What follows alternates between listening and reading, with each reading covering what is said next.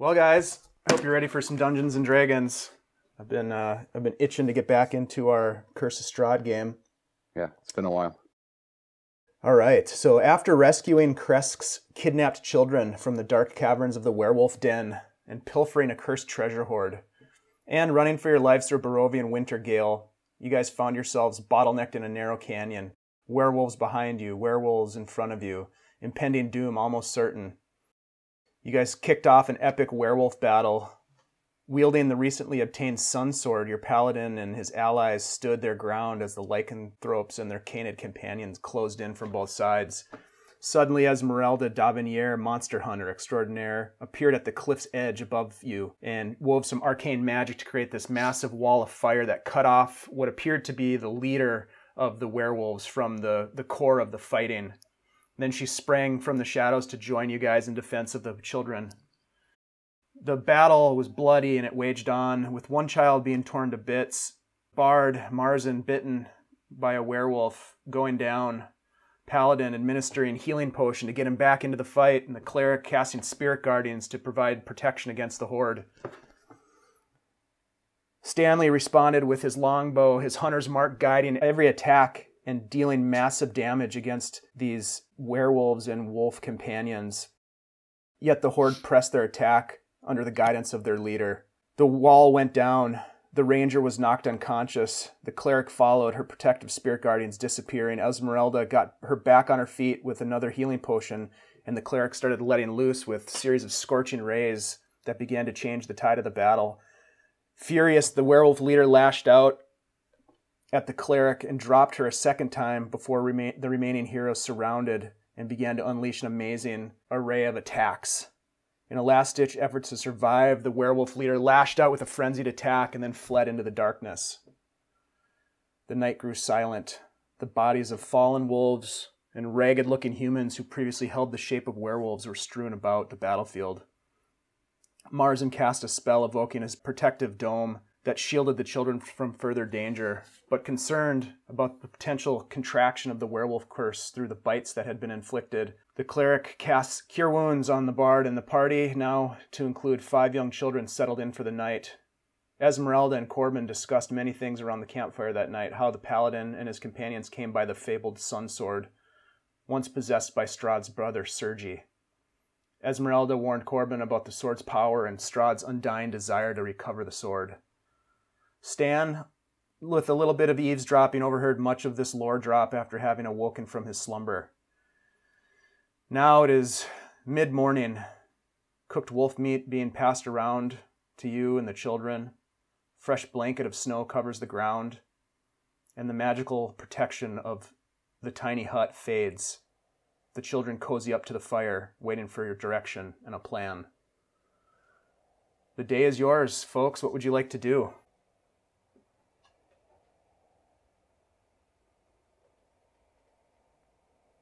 Ezmerelda, do you need to get these kids back to your uh, wagon?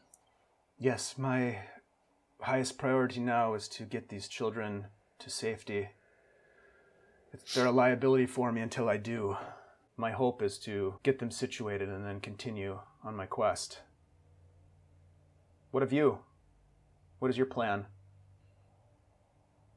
Well, I imagine we could at least help you get them back to your to your wagon. Um, what do you guys think? Yeah, I think I would like to um, make a trip around the perimeter and check for new tracks and um, just make sure that we're secure. See if there's any um, any movement around. Sure. Roll a perception check for me. And are we um, we're mountain terrain? Is that what we're doing? Uh, th- I would say it's doing more now? forest. Okay. Either way, it's a preferred environment for me. Right. I'd like to um, make a wide loop around and just I can see if there's anything new overnight. Um, make sure that we're safe and secure, and um, see if I can pick up where that uh, werewolf leader took off to. Okay. Not really chase him, but just see if I can see any evidence of um, which way he went. Okay. Yeah, you do a you do a general scan of the perimeter, walking around as as the rest of the party is having breakfast and discussing what the plans are. You do find tracks. Uh, there are a lot of critters in this part of the forest. There are small mammal tracks that are possibly squirrel, maybe some rabbit tracks that you notice. Uh, you do see some canid tracks as well, but they do appear to be of the four-legged variety. Okay. As you search the area where the the leader of the werewolves disappeared, he actually was able to escape with another werewolf. There were actually two of them that ran off into the darkness. But there's been enough snow since then that you can't you can't detect those tracks. They're, they've been fully covered up. Um, Does- just for future reference, uh, werewolf is a beast, right? Uh, werewolf is a humanoid. Okay. I'm definitely ready to get out of this valley here. I think if we start heading back to Ezmerelda's wagon, I think that's uh, the faster we could get there is the, the better for us. Yeah. How far Yeah. away is it again? Yeah, I agree. We should get out of this place. Well, guys, um, I, I, aside from, um, so, aside from Corben, um, being a target with the, with the, um, Sun Sword, uh, it seems that I'm also going to be a target because what I happened to grab was, um, what appears to be Diary of Strahd. Oh, wow. And What? Yeah, yeah. Um, and a lot of it is not legible. I'm going to have to uh, spend some time looking at it. There could be very valuable information in that book regarding his destruction. Yes, exactly. Um, it, uh, it the the part that is immediately legible just tells the story of uh, stuff that we've pretty much already heard, which is, you know, that he he uh, made a blood oath in order to get uh, pact of blood with Vampire, and um, in order to um, win the win the love of uh, Tatiana, and um, and she she her body was never found, but uh, she she was uh, in great despair because she wanted to marry Sergei, who he killed, and so all of these things were things we knew. I think with some research, I can I can learn more, and I, I'm guessing that he will very much want this back. So um, I think I'm I'm right with you um, in that uh, Mars, in that we got to get moving because the longer we sit here, the more of a target we become. All right, let's get going. I have a question about this book, the passage you read. You told me before that you were in search of Tatiana. Does this change anything? Well, I'm not sure. Um, he Strahd needs well, he wants us to bring Tatiana to him. I don't know how that's going to be possible. I don't know um, if if her soul is being transferred. We don't know if she herself is part of the undead and hiding from him. We don't know um, any of this. Uh, so that's the description. Uh, the description he gives for her sounds an awful lot like you. Um, so I don't know if if um, reasonable substitute will do. Uh, we don't know, uh, but that is what he wants us to bring to him. Hmm. Interesting. The tale of Sergei's murder is one that is known to me. The cursed soul of Tatiana, from what I've been able to gather, is one that is reincarnated over and over again in this land as a, I guess, a distraction and a punishment for Strahd. I wonder if there is a new Tatiana. You've wondered the same thing. This also leads me to curiosity of the letter you delivered to me. Perhaps the one named in the letter has something to do with this. Interesting. She starts packing her things. As I'm Okay. looking around, I'm trying to find something for us for um, breakfast. See if I can bring any um, any breakfast back. Uh, go ahead and roll a survival check.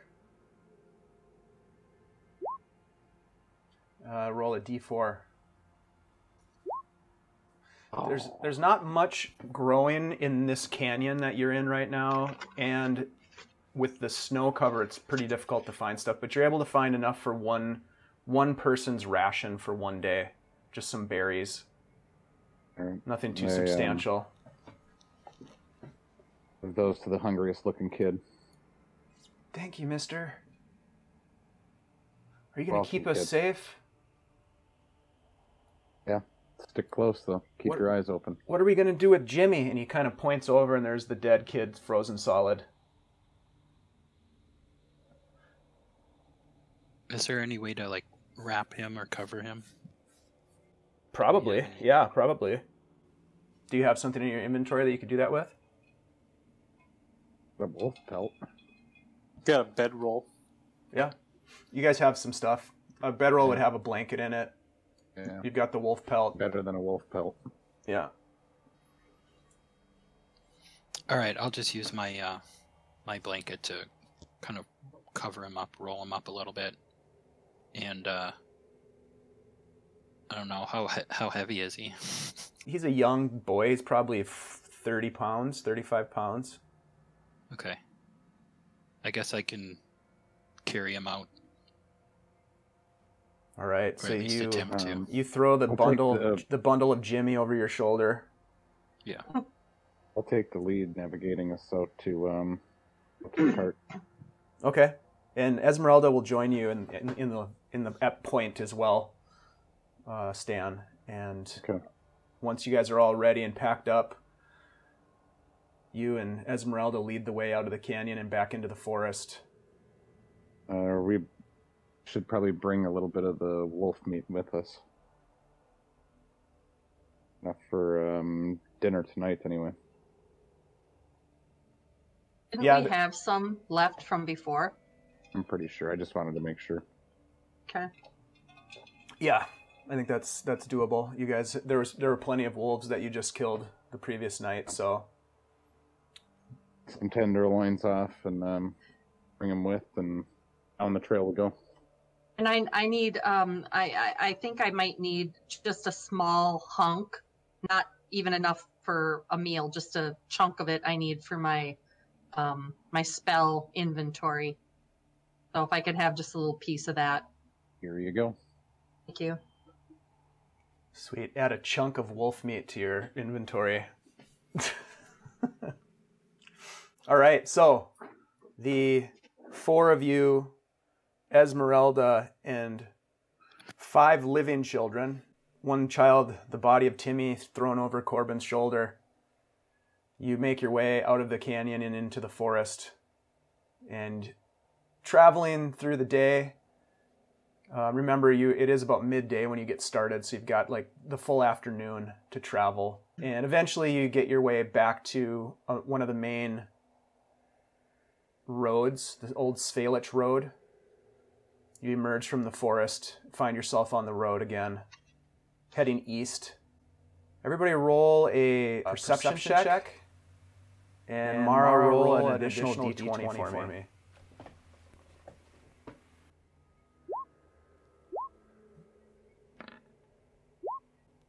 The snow seems to have let up. The day is cold, crisp, but visibility is good. And you as you look ahead in the distance as you're traveling along this road, you don't see any obstructions in, in the distance. You don't see any sort of tracks on the road whatsoever, the fresh snow having covered up any activity from the previous day and previous night. And you make your way down the road most of the most of the day, and it starts to get into nighttime.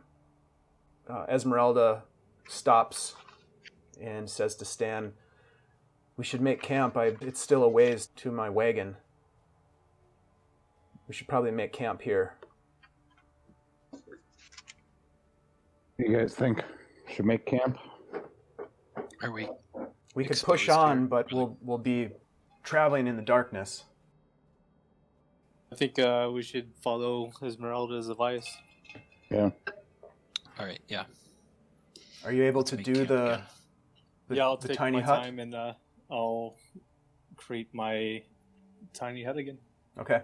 Um, Can you describe what uh, what what the surrounding area is like? Uh, it's forest on both sides of a a narrow wood a, no, a narrow forest road. Snow everywhere, thick boughs hanging heavy with snow, and uh, you know a light breeze. It's pretty cold. You can see your breath, and uh, Ezmerelda quickly gets a fire started. Stan, you're impressed at how quickly she she gets it going. I would like to um, cast Dark Vision for myself. Absolutely. And also, just Dark Vision for now. And then I want to make a wide loop around and pass quietly around just to make sure that um, we're pretty secure in a perimeter around the camp. Okay, so you're gonna do a perimeter check. Go ahead and uh, Perimeter check, and also looking for stuff to eat, stuff to go along with wolf meat. Okay. Roll a survival check and a perception check. And are you trying to move quietly through the woods? Yeah, I'm hunting. I'm um, I almost cast Pass Without a Trace, but I'm gonna wait until if I see anything, then I'll do that. All right, roll a stealth check as well then. There's survival. There's stealth. There's perception. Ooh. All right. Well, the the forest is thick here, so it's difficult to stealth. You do your Mhm. best, and probably better than most people would be able to do, but you still snap the occasional branch that's hiding beneath the surface of the snow, and you have to kind of crouch down and crawl through a thick underbrush, thorny uh, shrubs that kind of line the the understory of this thick forest. And as you do, you see tracks of all kinds, all, all sorts of critters running through this part of the forest, but you don't see anything that causes any alarm, which is different from the other times that you've been in the forest, having had a few encounters with, especially with giant spiders in the past, Yeah. in this area specifically. Uh, but at this this evening, you don't see anything. Roll a d4 for me. Yeah, Oh, it's, what's it's still really, really hard, but you do find some some additional berries. Right about this time, Marzen, you get the hut up, and the children are excited to get inside and warm up. They're starting to get pretty cold. Um, how many of us can fit inside of that hut again? To me, it's pretty roomy. Uh, nine total creatures. So, oh, okay. So eight plus Marzen. Yep. So one person is going to have to be outside at least at all, at all times, correct? Yep. I, I'm Sorry, okay I'm- with that, Ezmerelda says. Right. She gets the fire going, going and kind of gets her area set up. eats some of the some of the cooked wolf meat that she had from the morning. She doesn't make a big fire. It's it's rather it's rather small, just to keep it from maybe prying eyes that might be around the area. We should definitely set up a watch throughout the night. Yes. I'd be more than happy Uh, to take the first watch. All right. I, I'll be happy to take the second. Unless we should do it two at a time. I don't know. I I don't guess know if that's at a time would be necessary. Good. Yeah. More important for us to rest. I won't be able to see really because uh, I don't have dark vision. So unless we set up some torches, I don't think we should draw any unne- unnecessary attention by lighting up the forest even more than it is already. well, then I, Yeah. I've got dark vision going. It'll um, it would hold for third watch. Okay. Okay. Leap now, and between that and um, keeping watch should get my long rest. Wake me up when it's time. Who wants to take Alright, the will fourth do. watch? Mara, can you take the other watch? I'm sorry. Um, I was I was busy looking at at this tome. Um, who's uh, Ezmerelda's going first and Stanley's going last? Did I hear that Third. right? Yeah. Third. I, I don't know the exact order. I guess I was going to go second. And then, Ezmerelda, Corben, Stan, and then Mara is what they're So asking. Okay, the yeah, one. I don't have dark vision either, but if I have the last watch, then at least it'll start to get lightish towards the end of my watch. So, yeah, I can do that. Okay. All right. So the night goes on. Uh, Ezmerelda takes the first watch. Somebody roll a d20 for me. Can we Oh. take stands? How many people Who rolled rolled? there? I only needed one roll, so we're gonna go with yours, Corben. All of a sudden, Corben, you feel her kick your boot. All right, it's your turn. All It's right. your watch. And uh, she she gets herself situated as you stoke the fire a little bit, get a little warm your hands a little bit at the fire, and uh, I'd like you to make a perception check and roll a d20. Okay.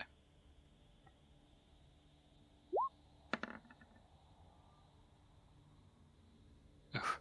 Oh, Solid roll. Mm. Okay. It uh, it's hard to see into the darkness.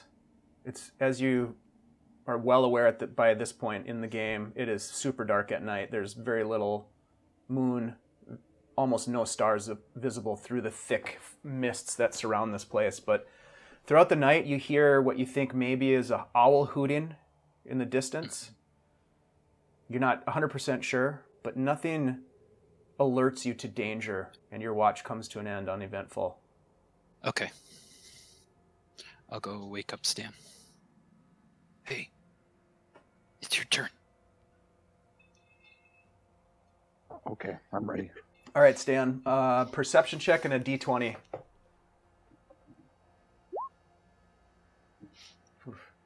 Oof. Come on, Stan. Oof. Oof. Man, Light. Stan, you have a hard time keeping your eyes open. Uh, you do. You don't fall asleep, but man, you're exhausted. It's almost like a wave of, of just exhaustion comes over you, and it, it's you're just Barovia. fighting sleep. I hate this place. Yeah, it's tough. You know, if you when you can't see sort of like the the diurnal cycle of the moon and the sun, it kind of Yeah. starts to take a toll on you. It's almost like being in some sort of a weird, gr- like consistently gray landscape where you can't. I'm probably thinking about being dead and seeing ghosts. Yeah, and- exactly. And just bumming out on watch. Yeah, it's tough, but you uh you make it gonna- through your watch and and uh, nothing happens that alerts you to danger. Yeah, I almost woke up Mara a bunch of times on my watch, just saying, "Hey, I'm lonely out here." Eventually, it comes time to wake her up. Wake her up excitedly. Oh, oh, oh, I was out, man. I was ah, out. shit! It's spooky out here. Yeah, I'm, I'm not looking forward to this watch. I'll be honest. I'll have my shield and and uh, and uh, my dagger and my my sword ready to go. So I'll I'll head on out there and see if you can get a few few more moments of shut eye here. Thank you. Mar, you, you throw a couple of sticks on the fire just to keep a little warmth going in the wee hours of the morning. Some some say the coldest time of night. I'd like you to roll a perception check and a d20 for me. There's a little bit better perception. Okay. Mara, you do hear about an hour into your watch, you hear the distant howl of a wolf.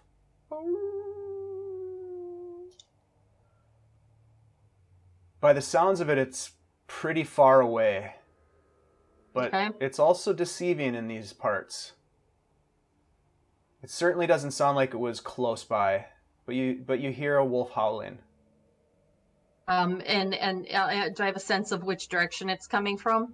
Coming from the north. From the north. Okay.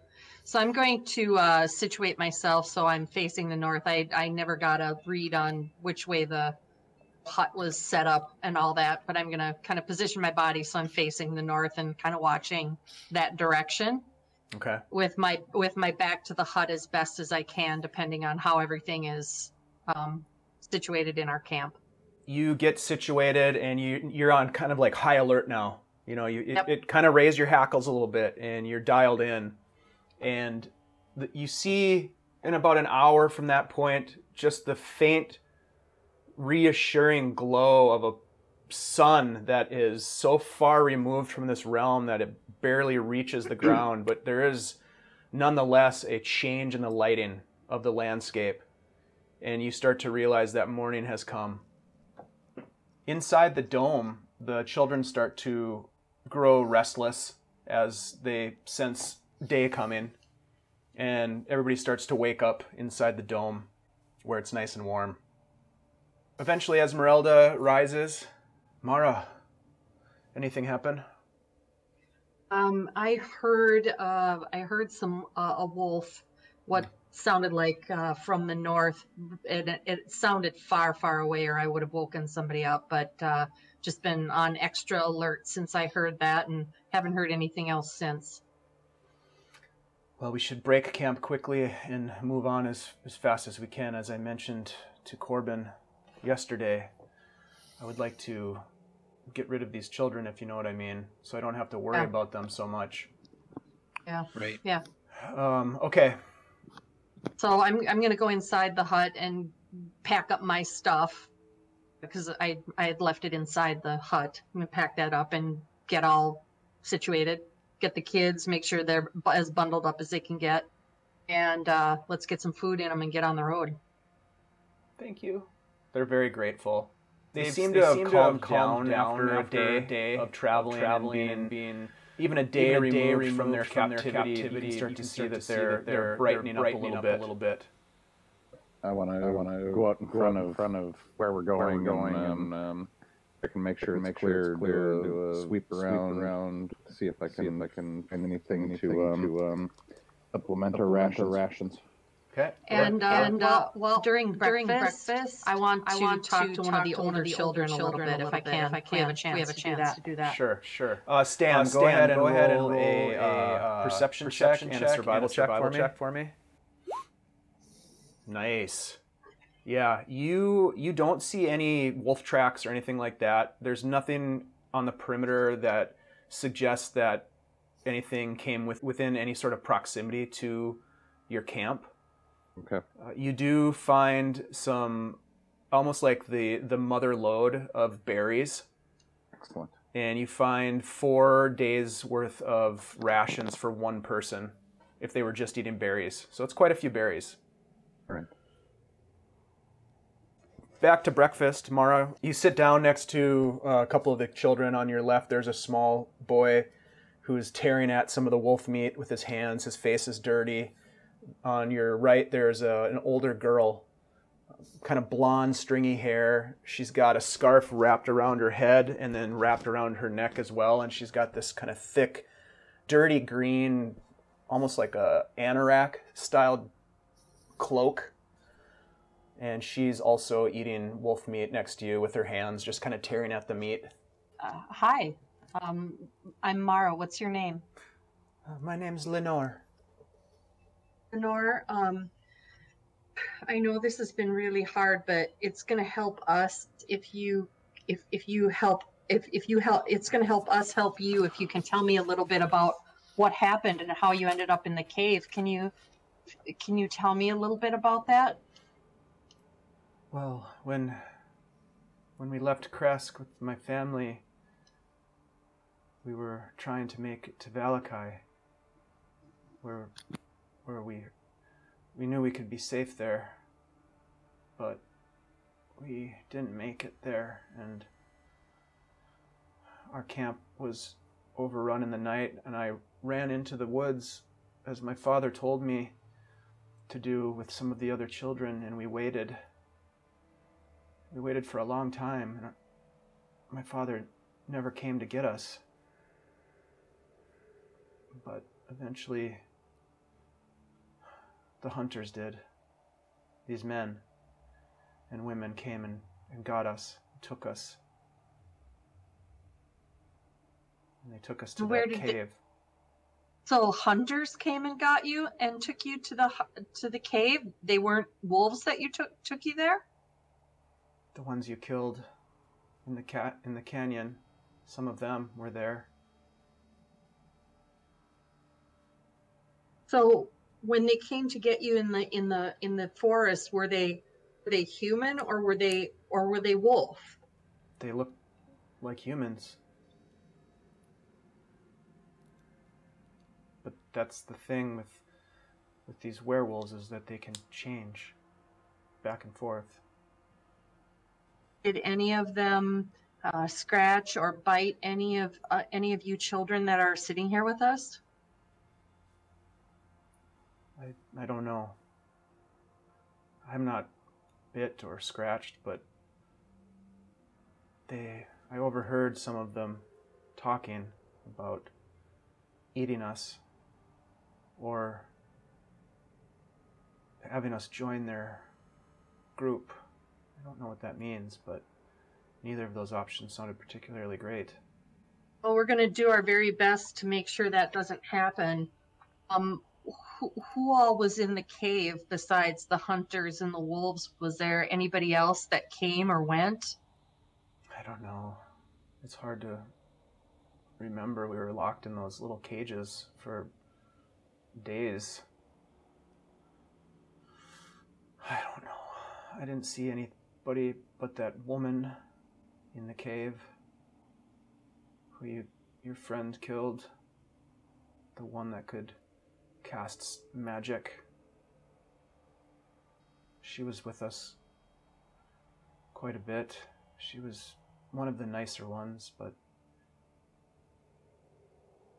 I don't know. They all kind of blur into one, if you know what I mean. Mm-hmm. How many kid? How many children originally were were in the ki- were were with the group? There were eight of us originally. Okay. We lost there anything two el- in the is there- escape and one in the canyon. Jimmy. So there was nobody that was lost while you were in the cages. No. And they kept you there for days. That's interesting. Not good, but interesting. Um, is there anything anything peculiar that you remember at all about your time with with the the wolves in the cave on the way to the cave? Any of that? Well, seemed like they fought a lot. You know what they were arguing and fighting about? I don't.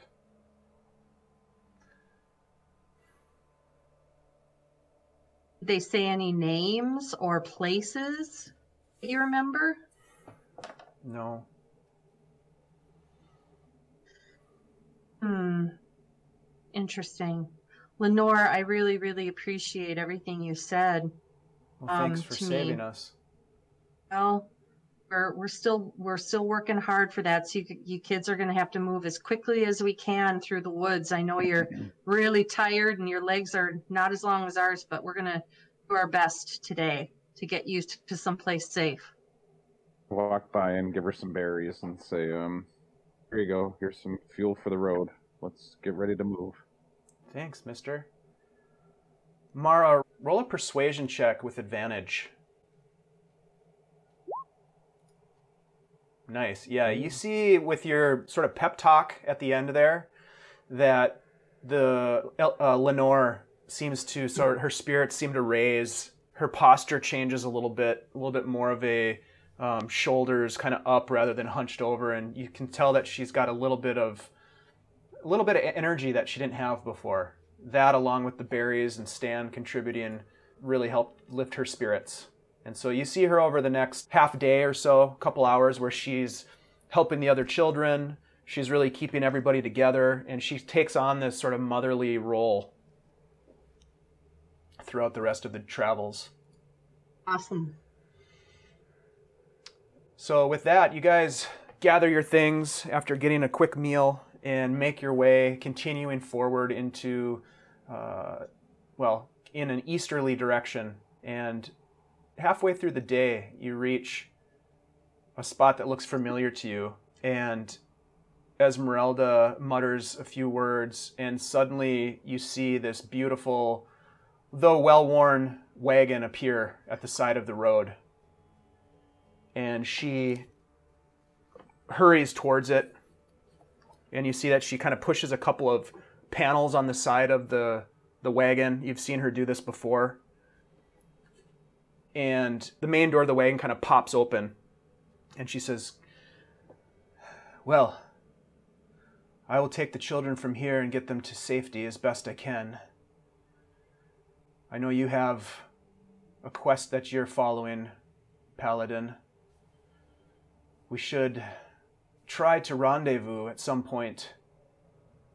Our paths are aligned to some extent, although we both have things that we need to accomplish before we can press the final goal of our adventure. Come, children. And she uh, she beckons, and the children start getting into the wagon. Uh, I raise a voice quietly to the group as she's um, distracted working to get him in the cart. Um, hey, we really gonna cut the kids loose and let him go with her? Should we? I mean, she was the reason the whole we went and got them. Yeah, I, I, I think, uh, I think she's proven herself more than, more than plenty. Yeah, that seemed that wagon seems like a pretty safe place to be out here. Yeah, I kind of you wish I could go into that wagon. yeah, You aren't nervous for the kids that she'll treat them well and get them where they need to go. Not at all. She's a legendary Ezmerelda, a monster hunter. I think Marzen's got a crush on Ezmerelda. Maybe. And I'm gonna, I'm, I, I kind of nudge you in the ribs a little bit with my elbow. Right. Um, Question is, uh, do we know where to go? Ezmerelda overhears you and saying, "Where where do you travel to next?" Well, when we came across you, we were heading towards the city with the witches. Oh, Berez. Rez, thank you. Thank you. Yes. Well, I've told you before, and I'll tell you again. Berez is a very dangerous place, from what I understand. I've not been there, but tread lightly. Well, we really don't know where else we c- we could go at this point. I mean, we have things that we need to get done, and and Berez seems like the next place where we need to go. Right. Like you, uh, we have we have a mission of sorts. Do we have a good idea of which direction to head to get there? Hmm. Um, I I mean, we I heard. started to I started to do a map, and I don't have Berez on it, so I'm so Ezmerelda. Are we pointed in the right direction? You know where we're headed. Yes. Well- if you're trying to get to Berez, you're going to travel to the Luna River crossroads. Before crossing the Luna River, there is a, a road that heads south.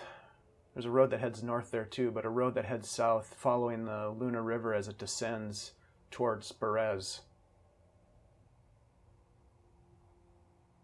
So it's about half a day's journey from here to the crossroads.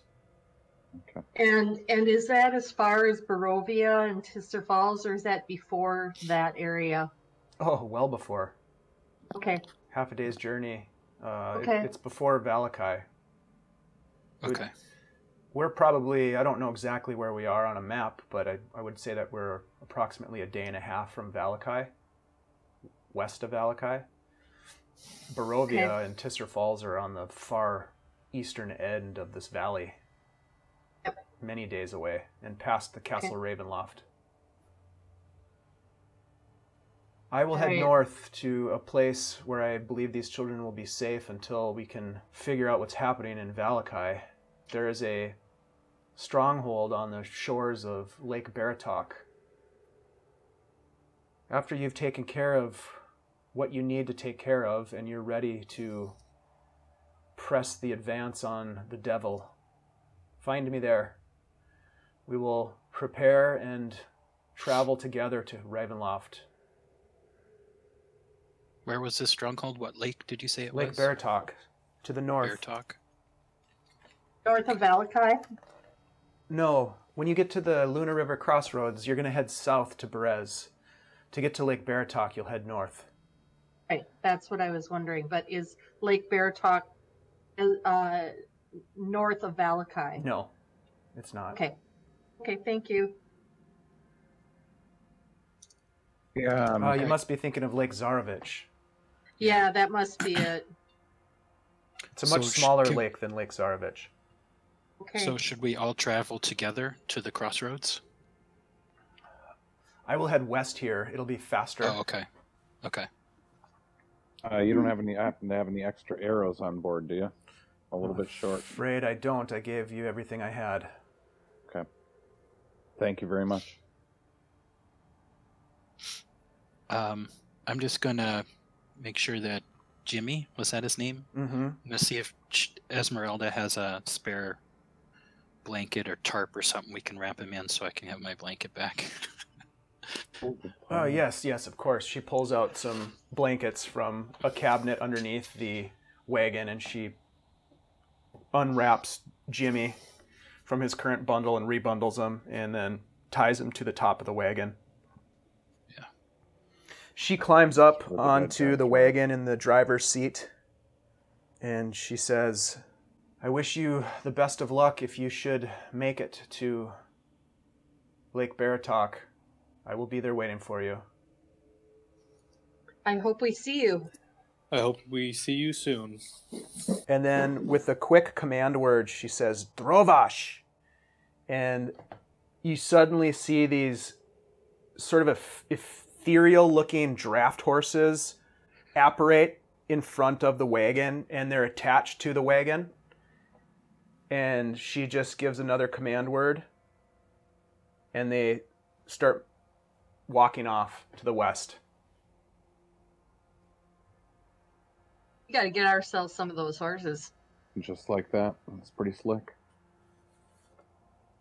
Let's get rolling, guys. yeah, we should get moving. It's getting late again. Yep, I'm ready to slay these witches. All right, you guys continue on for a couple more hours before the light starts to wane. And the road comes to a cross intersection, branching to the north, the east, the south, and the west from where you've come.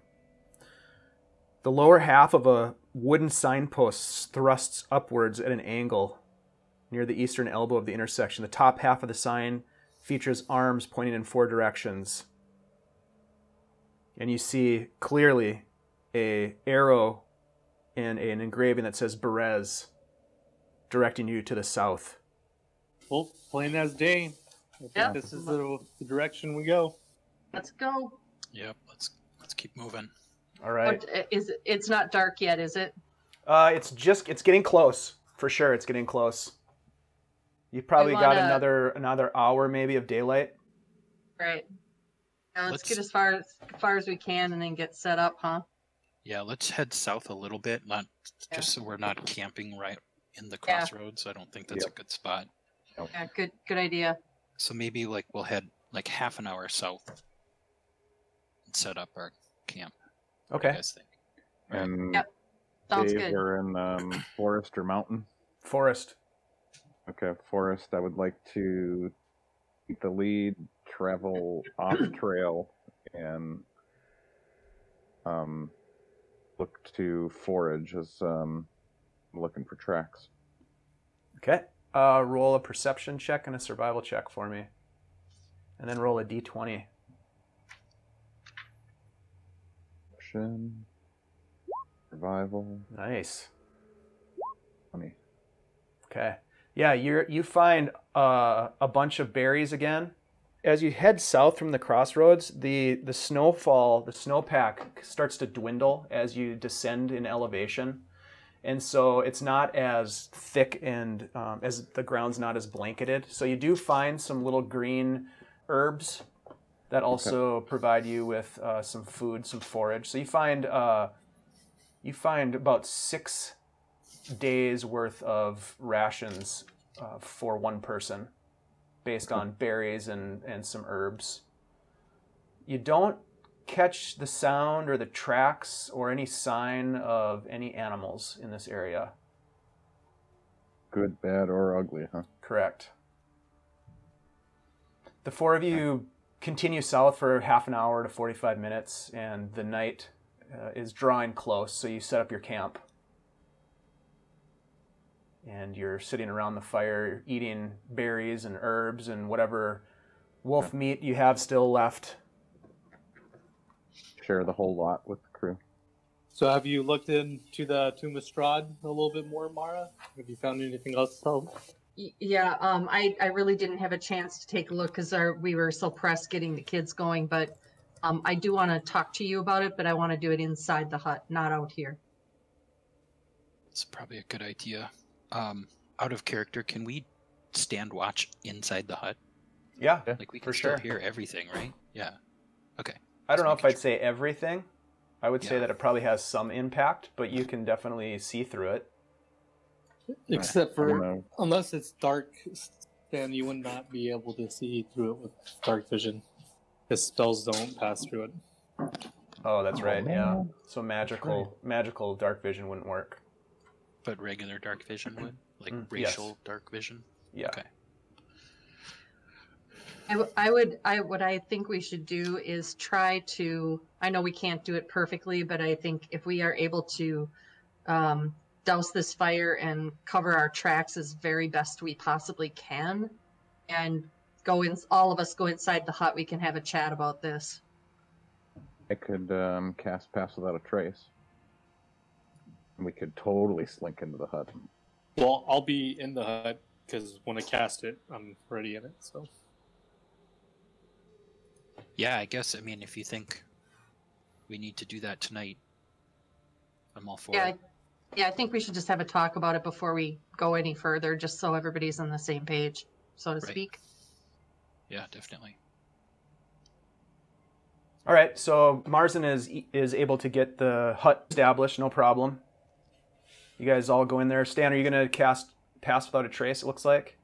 Yep, I am. Okay, so you guys are able to essentially walk across the snow, the what little snow there is, uh, without leaving any sort of tracks whatsoever. You are now inside the hut. So, what did you find, Mara? Well, here's this is the book, and I'll give you a description of it. Um, the book is bound in thick leather cover with steel hinges and fastenings. Pages appear to be handcrafted sheet of sheets of thin parchment and brittle to the touch. The tome is filled with a mixture of ciphers, diagrams, and notes written in a curious shorthand. Stains and age have made most of the pages illegible, but but some of the first section is readable. And um, and the the and then the and then it proceeds with the passage about about it, but it's uh, basically telling the uh, the story uh, of Strahd from his point of view, um, which he he had uh, he had gone he had come to the land um, with his army, and uh, they took the took the power over the people in the name of a just God, but not with any of the God's grace or justice. And then he called for his family, um, who had been unseated from their ancient thrones, and brought them there to settle and, in Ravenloft. And uh, his younger, they brought with his, younger brother, and he had never known Sergei. Um, apparently, came after he had left, and he was handsome, and and this Tatiana was in love with him, and they were supposed to be married. Um, she he he was in love with her, but she thought he was old and thought of her as a brother and an elder.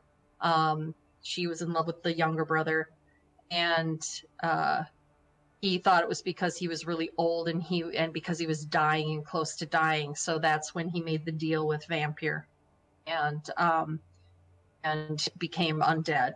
And uh, she in in her he went to find her.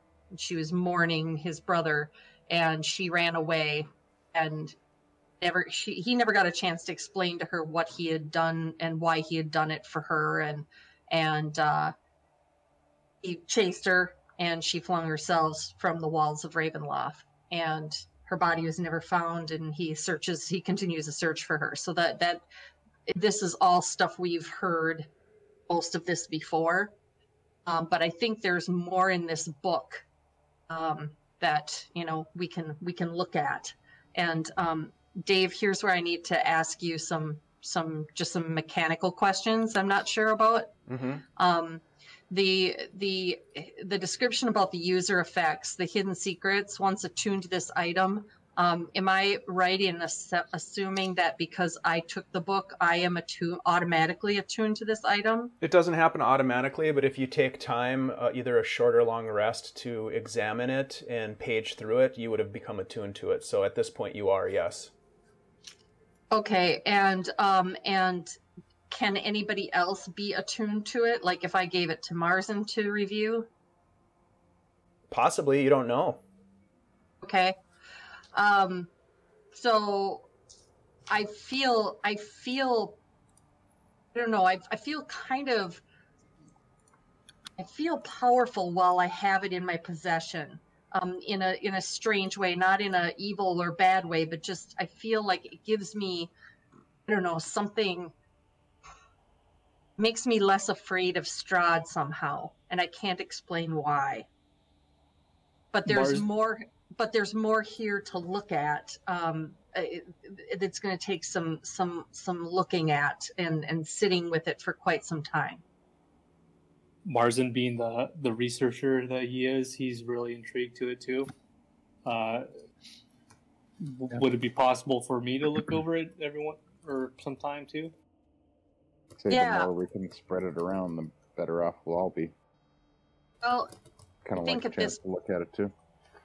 Yeah, I, and I I don't know what it. Uh, I, I I don't know, guys. I I'm I'd like to look at it first. I'm not telling Right. you you can't, but I'd I'd like to review it before I I hand it off. Um, we don't know what kind of, I don't know, magic this holds, and and if there's any kind of bad effects, I I want to find out about it before I hand it to anybody else. Right, and just out of character, like anybody that's good at intelligence intelligence checks, like investigation checks, is probably going to be better at it. Just FYI. Yeah. Yeah. I don't. uh, Um, Not Uh, saying you have to give it away. right, well, right, Dave. Do, Dave, Dave, can they see the Tome of Strahd notes? Or is it just Uh, me? Yeah, they should be able to. Yeah. Everybody Okay, has I access didn't. to I, I didn't know if you could Yep. see it or not. That's Yeah, why I was being. You know, you shared with them the story uh, that you were able to read, so that's in there if they want to read it in more detail. So they can see the mechanics and the user effects. Okay. So, so guys, I'm gonna. I'm going to. Uh, um, I think. I think tonight. Uh, during my watch, I'm going to I'm going to look at it and see if there's anything else that I can find out. All right.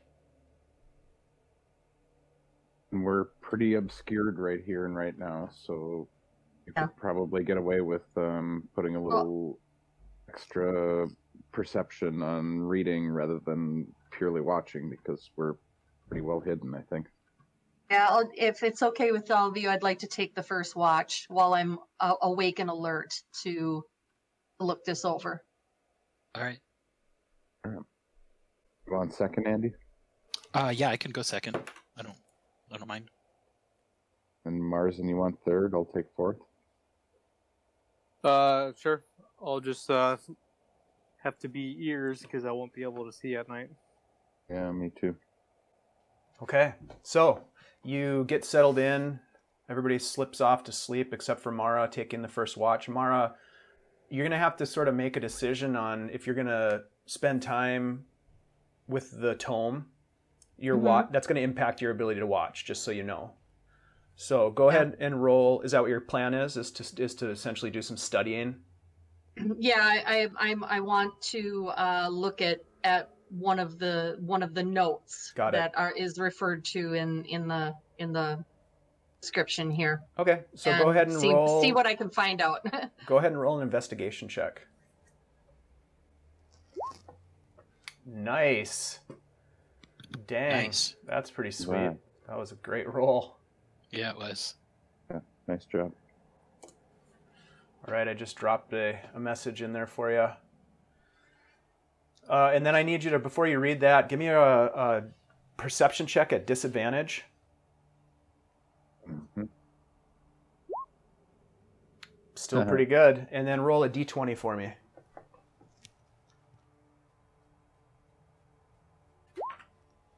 Okay. You uh, you find some interesting information in the cryptic code of this tome. This strange shorthand gives it provides you with some insight into Strahd's powers and the basis for his power. Meanwhile, you still are able to maintain a pretty decent watch, and throughout your watch, you don't you don't happen to uh, to notice anything that causes you alarm, which is welcome because you're busy studying. You will, uh, the, for the following day, take a level of exhaustion. So Yeah. just keep that in mind. On future ability checks, they will be at disadvantage. Um, Um, yeah, that's the end of your watch. I, I do have um except except if if I were to run into Strahd, then then the bearer of Strahd's truth would would trump that correct having having Um, advantage on saving throws for it, him it would uh, well saving throws are not an ability check so it wouldn't affect it's not going to affect saving throws okay it just affects abil- affects ability checks okay all right so that's the end of your watch and you wake Corben up for his watch i'm assuming yeah hey Yeah, yeah. I'm up. I'm up. I hope I hope you found some good stuff in there. I'm, I'm kind of I'm I'm thinking on it All right. all right Okay, Corben you, you get settled in go ahead and roll a perception check and a d20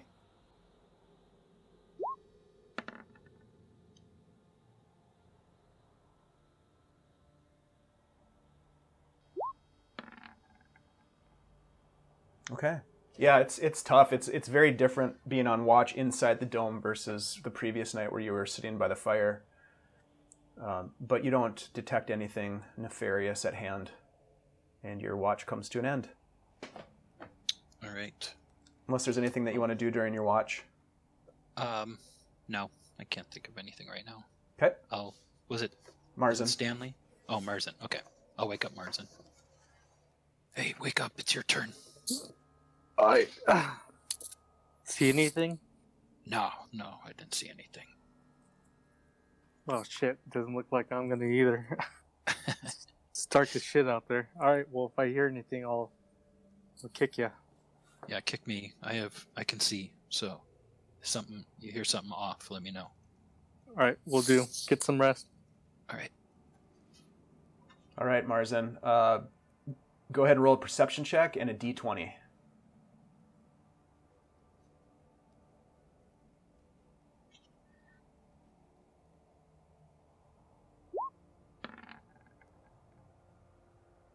Nice. Not bad for not being able to see. It's tough. I mean, even with an amazing perception roll, the fact that you don't have night vision and just sort of the lack of illumination from having no moon showing, no starlight, you're not sure really. You don't feel super confident in your watch, but at the same time, you don't see anything explicitly dangerous come into view, and your watch passes without any problems. All right. I'll wake up Stan.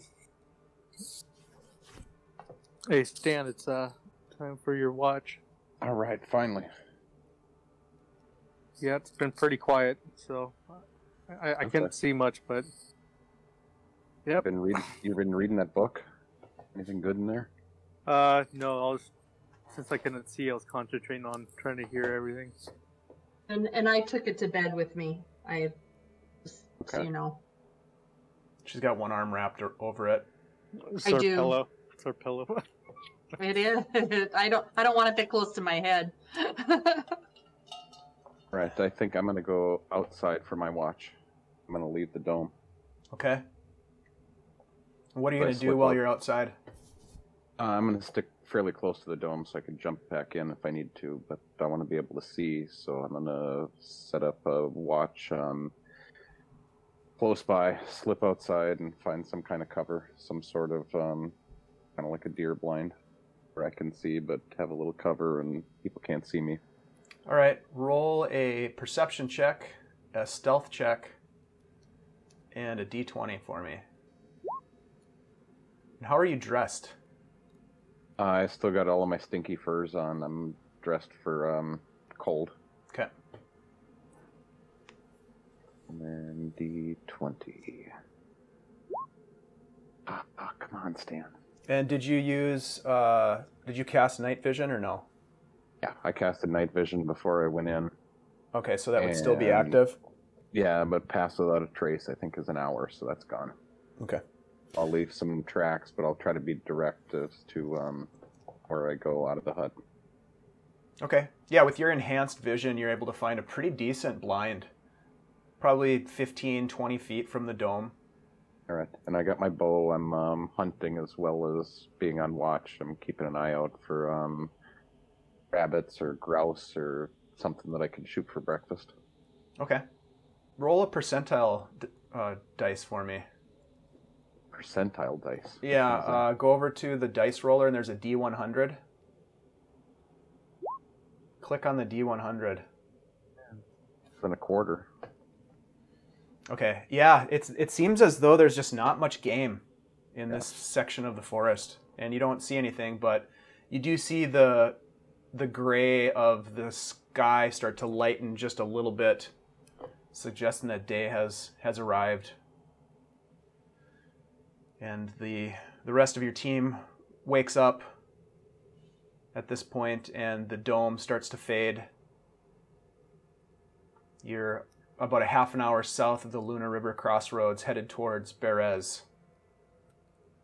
We all got long rests, so we get Everybody got a um, long rest. Yep. We all get fully recuperated. Yep. Hey Stan, uh, you're passed without trace. Uh, how long does that last for?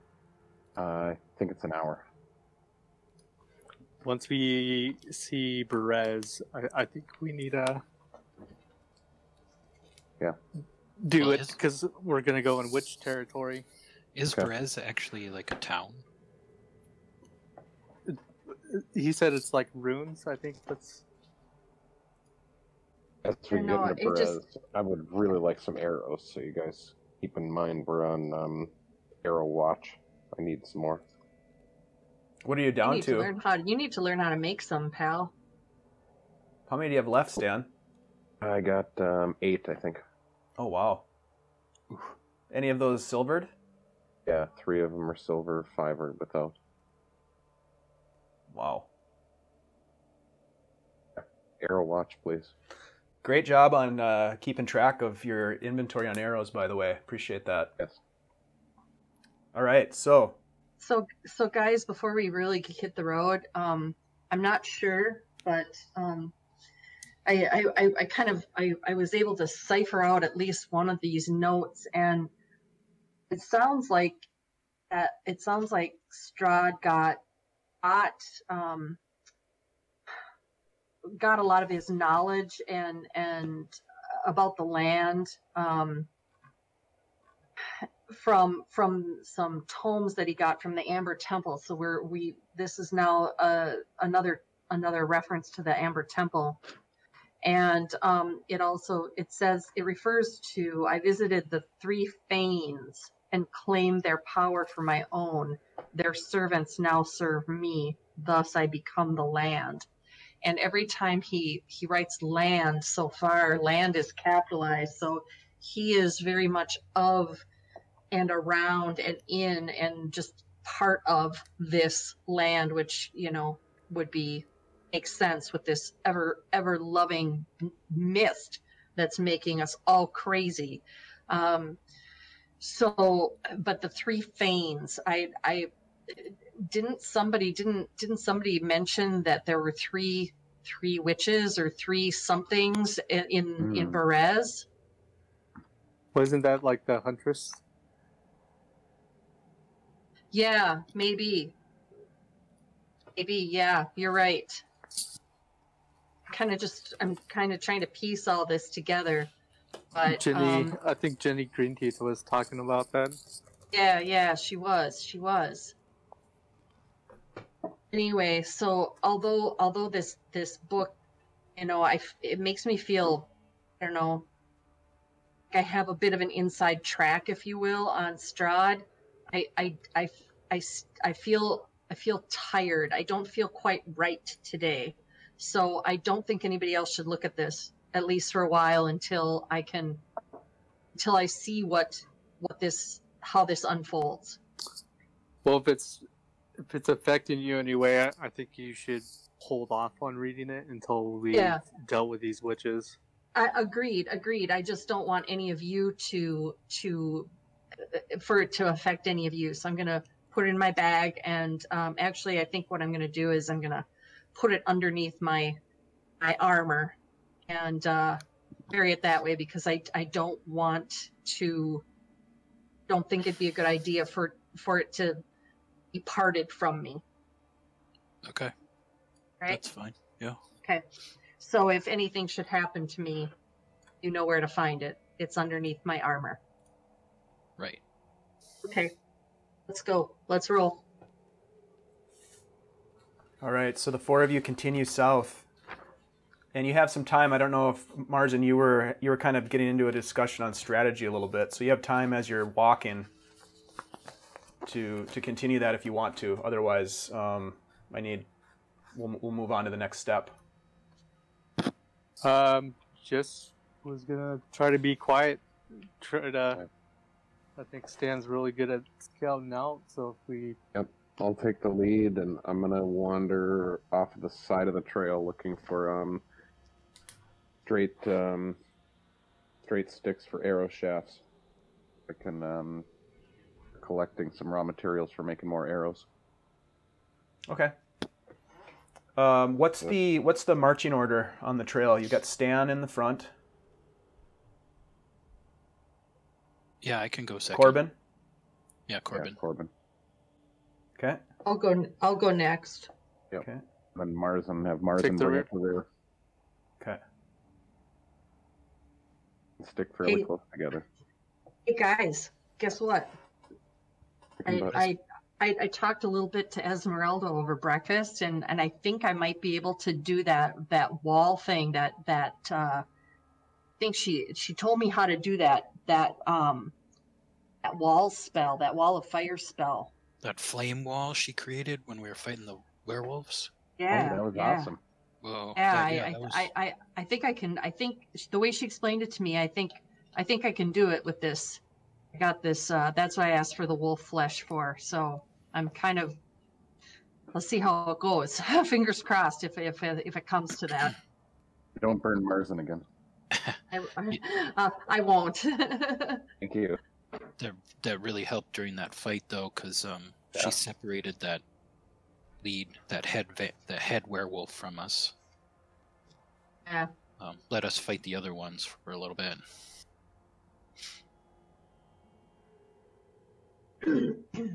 That's great. Yeah, I think um, we should head south, but um, I don't know. Didn't we hear from Jenny that it was about a day south to Berez? That it's uh, too long for me to remember. Um, Sounds about right Says- from what you remember. Mhm. yeah, head south about a day, then we'll find Berez. We asked her for tips for witches, and she said, "Stay away from them." yeah. So- See, look, see, look how good we listened. Yeah. I say, you know, as we get towards the end of the day today, um, I don't know if we're going to need to camp again before we get there, but maybe as the day goes on, we'll we'll start to get more and more cautious. Agreed. All right. A nightfall might be a good time to um into town.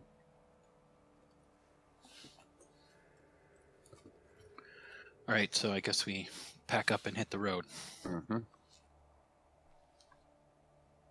Okay. Mars, and you're a pretty good strategist. You got any ideas as we're moving this way? Yeah, I'll stay in the hut and you guys go retrieve the bones. I'm I'm sensing a theme here. Um, no, I I could go invisible, so or um, We can do pass Dad. the trace. Dan, you're pretty quiet, so I, I think here here's a good game plan. Is uh, if we find them, um, I will make you go invisible, and you got for like one minute. So be very quiet and try to get the bones and get out. Oh, you can pass invisible on me? Yep. All right. Invisible and pass you've been trace. That would be all set. practicing. Yeah. That should come in useful. I only got one go at it though, and it's only gonna last for about a minute. So I think if we distract them, it, it might buy you some extra hmm. time. One thing we could do is maybe set a fire out in the, the forest to see if it draws their attention once we find them.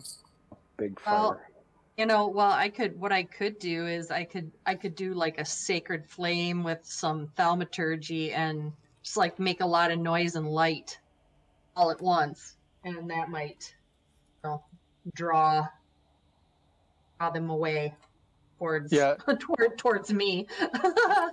Yeah, I think a fire might be better rather than put our, ourselves in more danger. You mean Then, like uh, a, a decoy as we start to get closer? Yep. So if we if we, if we could see them or we could tell where the, the town's out, I would say we see the ruins or whatever it is. Um, we set a fire, then go around. Then uh, that way, hopefully, they go to investigate it. Then while while we look for uh, the bones, if we could do it kind of like a op mission and be quiet about it, it would be the best. Isn't that always the best?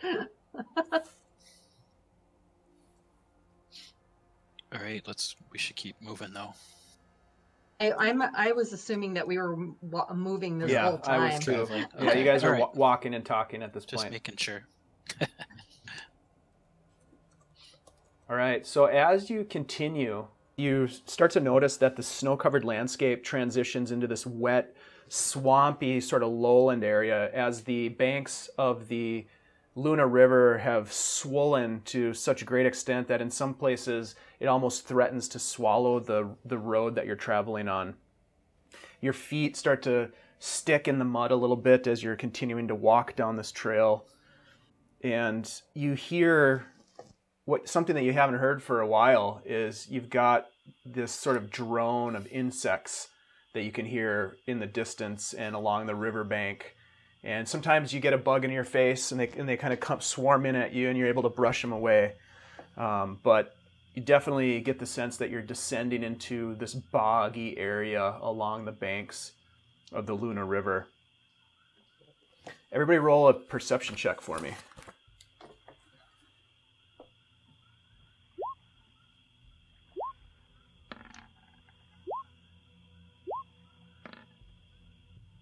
Nice. Everybody except for Marzen, as you're walking along, having been finished your conversation, you've been walking in silence for a little ways. You hear what can only be best described as the sounds of a battle up ahead. But the I'm fog for has grown. shafts as I'm going to. What's that? I'm looking for arrow shafts as I'm going. Oh yeah, you're in the woods, right? Roll a survival check.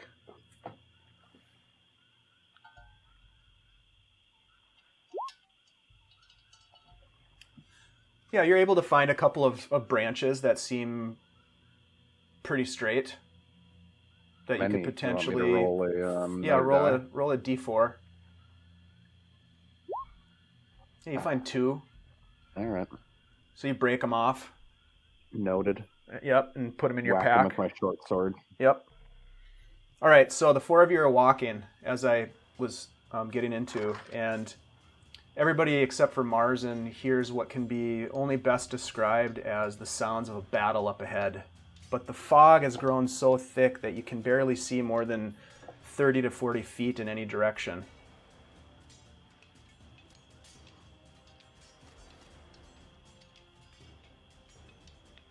Guys hear that? No, I think you're hearing stuff. Stanley, do you hear that? Yeah, I hear something. I hear bugs for sure. It's warming up. Becoming more and more hospitable all the time. Suddenly, the fog around you takes on forms of soldiers on horseback, charging across a field. Oh shit. They watch collide guys, with armor, pike bearing, wearing devil horned helms. And soldiers start to fall in battle.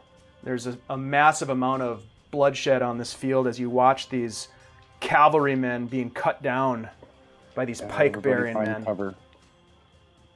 And as each soldier falls in the battle, it turns back into mist. And the mist starts to swirl around you and this field along the banks of the river. The battle continues as swarms of soldiers converge on this area, screaming, yelling, the clash of metal, men falling on the battlefield and being absorbed again into the mists that are swirling, ever swirling around you like a cauldron. Anybody shooting arrows? You don't see any arrows being shot.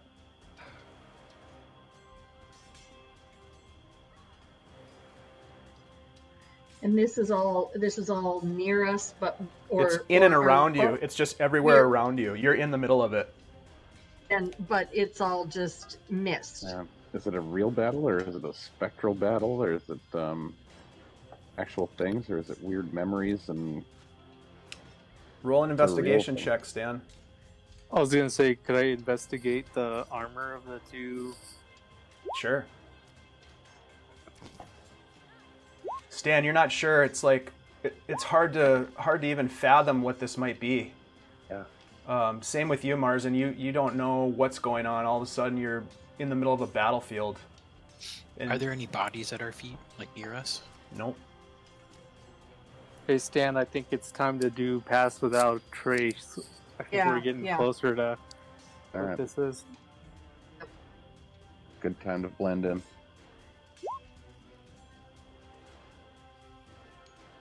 I mean, should we fall back a little bit and see if we can go around this?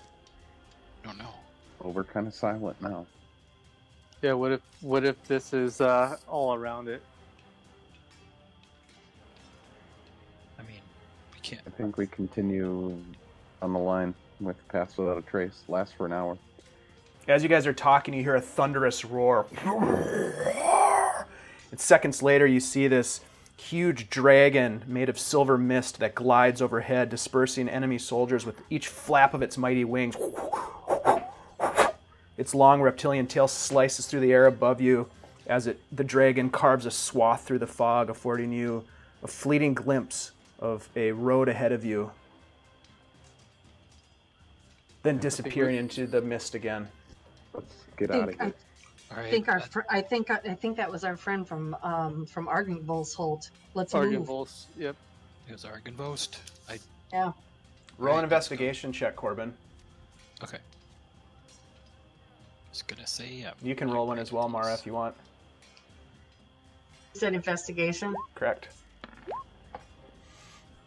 It's hard to say, but yeah, the only dragon you've heard of in these parts is Argynvost, and you get the sense, the fact that you're in the middle of this battlefield, yet there's no physical contact as these almost apparition-like soldiers move through you and around you and fall in front of you, yet no bodies anywhere. But you can plainly see the battle taking place and hear the the words and the the sounds of battle. Just doesn't seem it almost seems like it's it's a strange theater of the mind being played in front of you.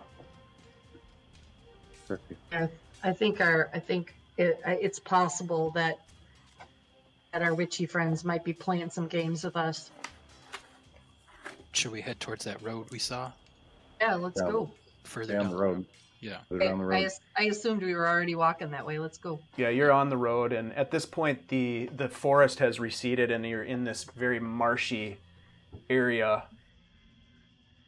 let's go ahead let's take a quick break it's 822 let's start back up at 830 Okay. Sounds good. all right So sounds like you're drawing up a map, a battle map. Yeah. uh, we'll see What time of day is it? We're getting into dusk. Yeah, it's coming towards the end of the day. Maybe like, well, maybe not the end of the day, but it's like probably 4 p.m. Yeah. you know, mid afternoon. Witching hour. Sweet. All right. We'll see you guys back in seven minutes.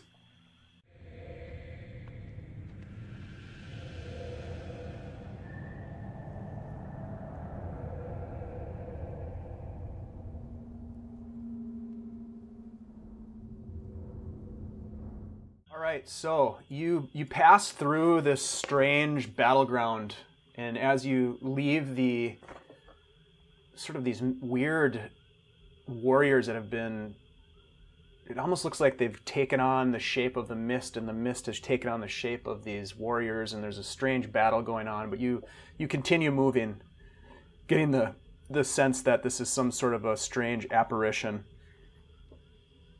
and you continue heading south at this point the landscape is is wet and soggy and your feet are sinking into above your ankles and the terrain is getting more and more difficult to traverse at a normal pace. Are you still uh, in marching order, Stan, Corben, Mara, Marzen? Yeah, I'm still in the lead. I'm still watching for um, Yeah, that's fine with me. arrows that I can use. All right, uh, Stan, roll a perception check, and everybody roll a stealth check.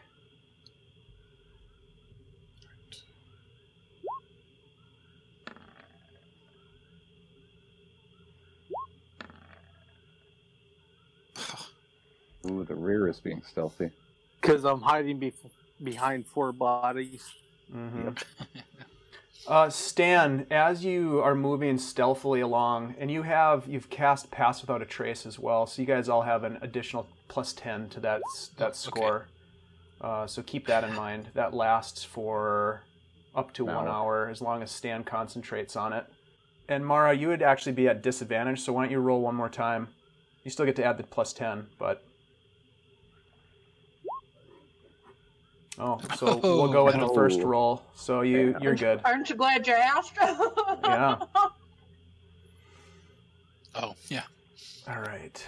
So, Stan, up ahead, as you're continuing down this muddy path, you take a step forward and your foot goes into about the top of your boot and you get water in your boot. You Oh, look it's out. deep up here. You look out in the mist ahead of you and you th- get the feeling that you can make out some sort of a shape. It's hard to tell what it is because of the mists obscure the shape, but you see something ahead of you on the road. All right. Um, you guys hold here. I'm gonna go up and investigate. To the Okay. left of you is the river, which is swollen. The banks are swollen, and it, it the river kind of laps up against the road itself. Uh, to the right of you is this open marshland, and then there's the road that goes right down in between those two. All right. I'll take the um, right side, the little bit less soggy way, and work to um, go up and investigate what I see. Okay, so you're gonna go off the road into onto the right side. Yeah. Okay, so it's definitely not less soggy. It's very soggy. Go ahead and roll a new stealth check at disadvantage. You still get the pass without a trace. Roll well, Stan. That's pretty well. and you're going to be moving Nice. at uh, at half speed because of the difficulty of moving through this it this is- wet, but it muddy. is one of my favorite environments. uh, this is swampland. This is not Oh, okay. not one of your favorite environments, actually. This is probably one of your least favorite environments. You get a little bit closer to the shape, and you see a cart uh, with two women sitting on the cart. The cart is stopped in the road. It appears as though the two women are having a conversation. The cart is facing in your direction. It's not the cart, the same cart that we just left behind. It's a different cart, right? It's a different cart. It's a much smaller, very plain wooden cart. Two women sitting at the reins. There is a what appears to be some sort of a draft animal attached to the front of the cart. but it's hard. To, it's hard to make out on any details at this distance. You're probably 30 feet away. You could get closer if you want to. Oh, I think I want to double back, cross the road, and come back on the left side of the road. The Okay. group. Go ahead and roll another uh, disadvantage stealth check for me. Nice, plus 10 with the pass without a trace. Now, one one quick point of uh, of order is that the rest of the group would not have the benefits of pass without a trace while you're gone because they would have to stay within 30 feet of you to gain that benefit. Is the way They that the spell is written. As, So, stayed put as the um, plan was. yep. All right, so you make it back to the group. All right, guys, we got a cart up here. It might be our witch friends. Small plain cart, um, just down the road. They're um, sitting there, ready and waiting.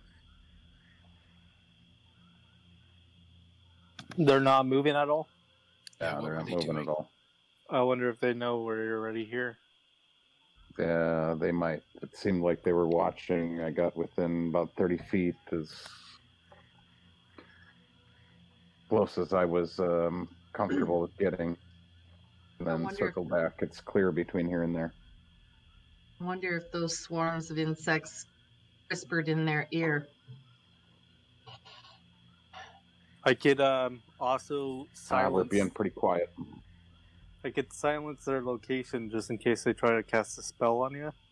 So at least it'll prevent like anything, any spells that they use their voice.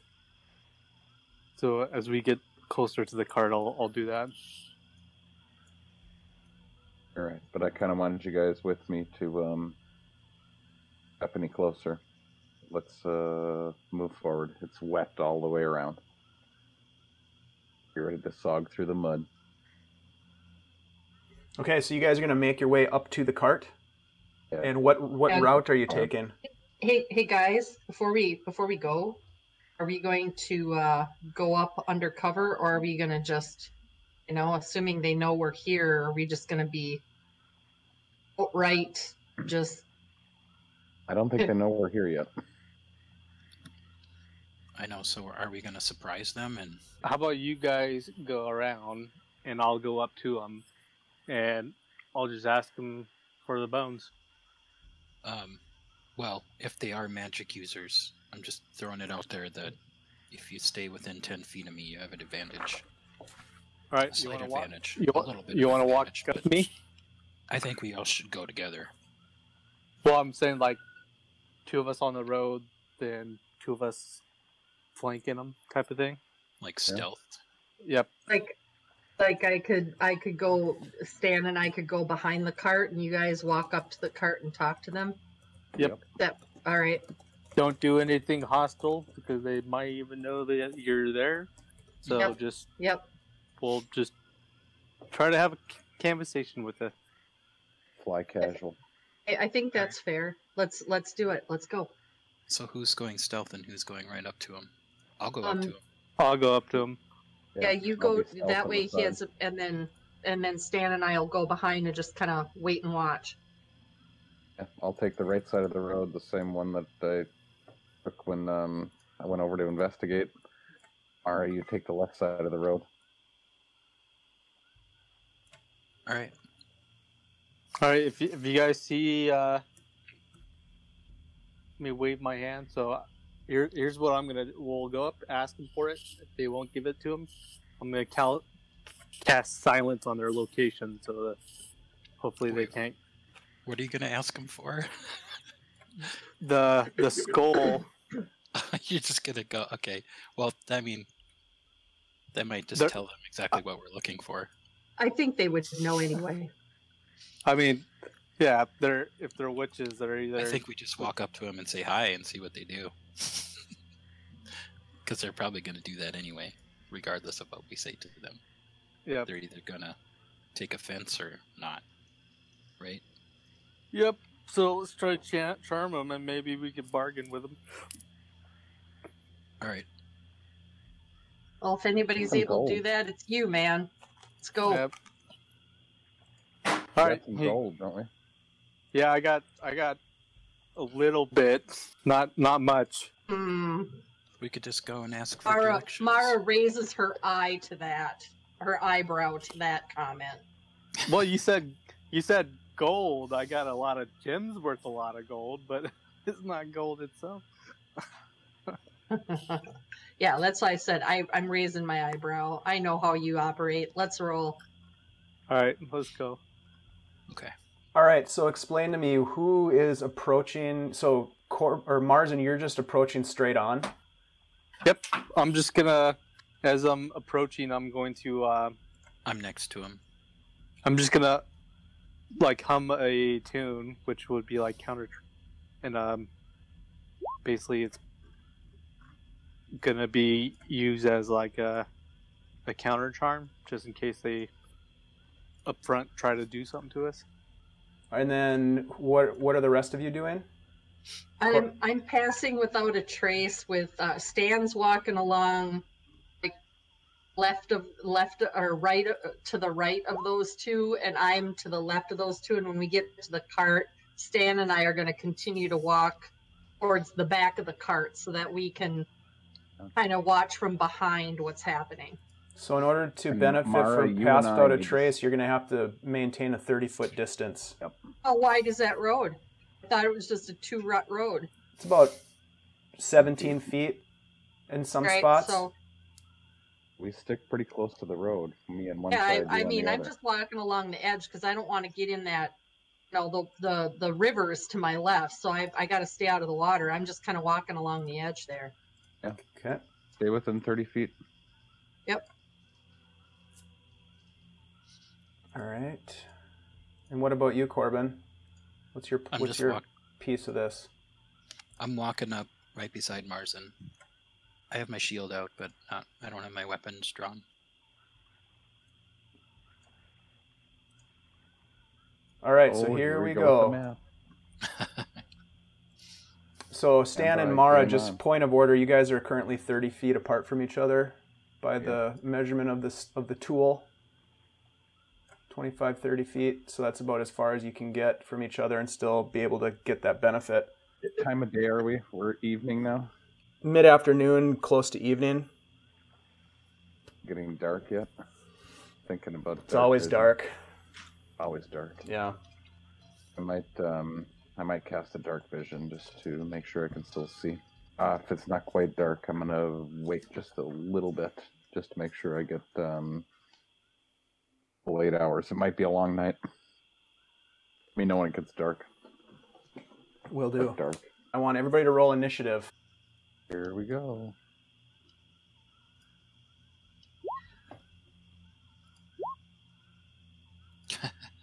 You guys are getting good initiative, and you're the ones on the sides. Yeah. Got some flack on the sides. All right, Mara, you have the initiative. Um, I'm I'm we're gonna I'm sticking to the plan. I'm just gonna continue walking um towards the towards the cart under the pass without a trace and hope that they're not sensing that. Although I'm pretty confident they might be. So I'm kind of I've got my shield ready. I'm ready to throw some fire if I need to, and just walking. I've got to be walking. Um, I, I need to be walking even with uh, Stanley because no, if I if I start walking ahead of him, then I'm more than thirty feet, and I know I have to stay within his bubble to stay Oh, right. undercover. Mhm. He goes right after you. Right, right. So Actually, you know what, Mara? You have, uh, because of your exhaustion, you have disadvantage on ability checks, and initiative is an ability check. So go ahead and roll another initiative for me. I forgot about that. Oh, All right, so that's down there. All right, Stan. So you actually have are at the top of the order. Card is ahead of you by about 60, 55, 60 feet. Oh, Yeah. we're going that way. We're ahead. All right. Yeah, you guys are north, coming from the north. Um, And just remember that if you move farther than 30 feet from Mara, she will lose the effect of your pass without a trace. I'm gonna stay right here and um, nock an arrow and be ready to fire as our um, companions come up. If there's any hostility toward them from the cart, I'm gonna fire. And I'm giving I'm giving yeah, and I'm giving you a look like don't don't Oh, not until not until. I'm giving you a look. And I will nod to you, saying I'm not gonna fire until we're provoked, but I'm ready to cover our crew. All right. So uh, you guys are all basically approaching, correct? So how how close would you like to get? Let's do that. How far from the Oh. cart do you want to get before you stop Corben and Marzen? Uh, 20 feet. Sounds good. We were gonna try to get behind the cart, Dave. All right. Well, let's move up. So that's about 20 feet. Right in front of you here is uh, is a is water that is washed out the road. So all this dark blue here on either side is water, swampy, boggy stuff. Your feet are just sloshing through the mud. Stan and Mara, where let's get um, you guys want to be up here as well. We'll get you right there. Yeah. So you guys are kind of hidden. I'd like you both to roll a quick stealth check, plus 10, both at disadvantage. All right, so now we're now we're back in order. It's all muddy and nasty. Yeah, super nasty. Okay. Where you are, Stan, you're approximately up to your shin in mud, That's but still fine, doing a decent warm. job of uh, of staying stealthy with that pass without a trace is really coming in handy. Yeah. All right, so Stan, is that your turn? Is to nock an arrow? Yeah, nock an arrow. Be ready if um, these guys catch any hostility. I'm gonna start shooting. Okay. Corben. I'm just gonna go. Ah, good evening, ladies. How are you this evening? Try to get their attention. they look over at you. And at this point you're close enough where you can see that there's these two probably 20 something women dressed in kind of dark robes cloaks. They both have bonnets or hoods over their head that are brown maybe a little bit of patterning on them and they seem to be sort of bundled up as they sit atop this this wagon the mule that they have looks somewhat emaciated and uh, and is just kind of standing there breathing. You can see the steam coming out of its nostrils as it exhales, and they take notice of you at this point. They at, until now they didn't hadn't seen you. Anything else you want to do on your turn besides call out? I mean, there wasn't much else part of the plan, so yeah, I guess I'll that I'll hold right now. All right, Mara. Anything that you want to do? Um, I'm I'm going to. Uh, can I, I can I prepare a reaction? You can. Um, I'm going to. Uh, I'm going to um, prepare uh, a uh, sacred flame. Okay. Just like ready And what's to. the trigger? Uh, the trigger will be if there's any hostile action against any of my compadres here. Okay. Sounds good. Uh, that brings us to the women that are atop this carriage, and they one of them looks over at you and says, "We don't like strangers around here. What's your business?" Trade. Can I answer her out of turn? Yeah, you can answer as a reaction. Oh, we're just passing through. We're looking for somewhere safe to stay the night. My friend here needs to buy some supplies.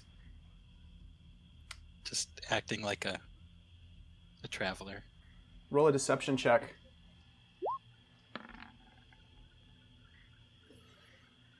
We don't have any supplies around here, and this is not a pass through type of location. This is the end of the road. You best turn around and head back north. That's the end of their turn. Marzen? Pretty sure you guys do have the supplies we're looking for. It would be, uh, you know, like a dragon skull, yay big. I kind of hold my hand. So Ah, okay. we were sent here, uh, told that you guys might have it, and uh, we're here to bargain for it.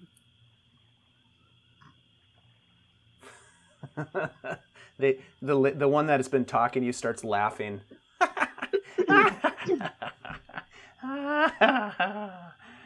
and I need you to roll, uh, Mars, and I need you to roll a wisdom save. Plus five because he's standing next to me, but that's not. What's so? What's the total? Seven. Yeah.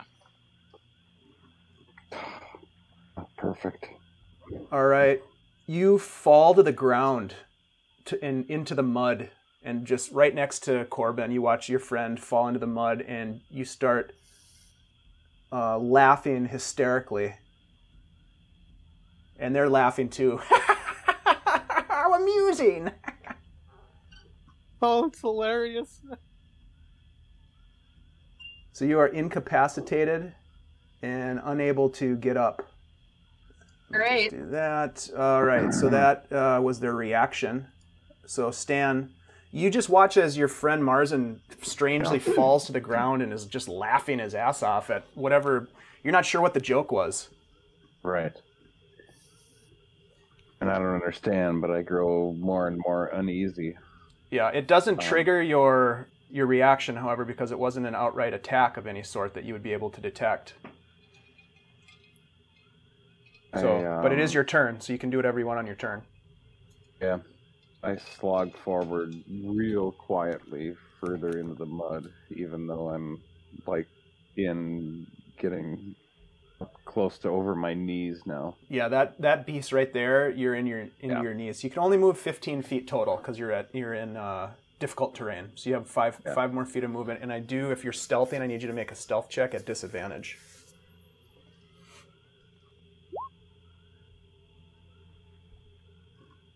Okay. I'm and I'm uh, still looking over at Mara and making sure I'm within 30 feet. I think I'm safe there. Can you confirm?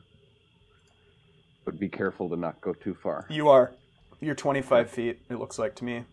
All right, I'm staying there, and I'm I'm working to get a straight shot to anybody at the cart that I need to. So I'm working to um, make a straight line of fire. Yeah, from your from your spot right there, there's nothing obstructing a shot at Yeah. either of the two women that are sitting up on top of this cart. All right, Um, I'm standing there, and I'm still holding with the bow that's ready to roll. Okay, and they they don't. It doesn't appear as though they've noticed you. Just FYI. All right, Corben, your friend drops to the ground next to you, laughing hysterically, rolling around in the mud. I also shake my head and just, man, what are you guys doing? Come on here. Oh, well, what are we doing? That was it's so amusing. So amusing. What have you done to my friend? What? How rude! I'm gonna move closer to their mule. As you do, uh, one of the witches says, "Told you to turn around and head back north." Ah. I'm not one to take directions too well. Which way did you say the inn was? You looking for for some place to sleep, are ya? Yeah, sure. And um, I'm gonna grab the reins of their mule. Roll an animal handling check. Okay. So this is your action, is to grab the reins. So go ahead and roll animal handling.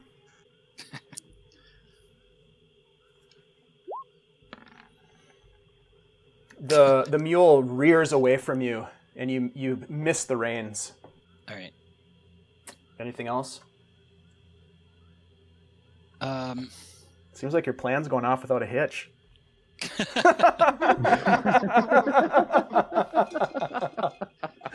Look I mean, did, did we have a plan? I mean, I don't. that was pretty much it. This is D and D. I We're- love we're it. Pretty much there.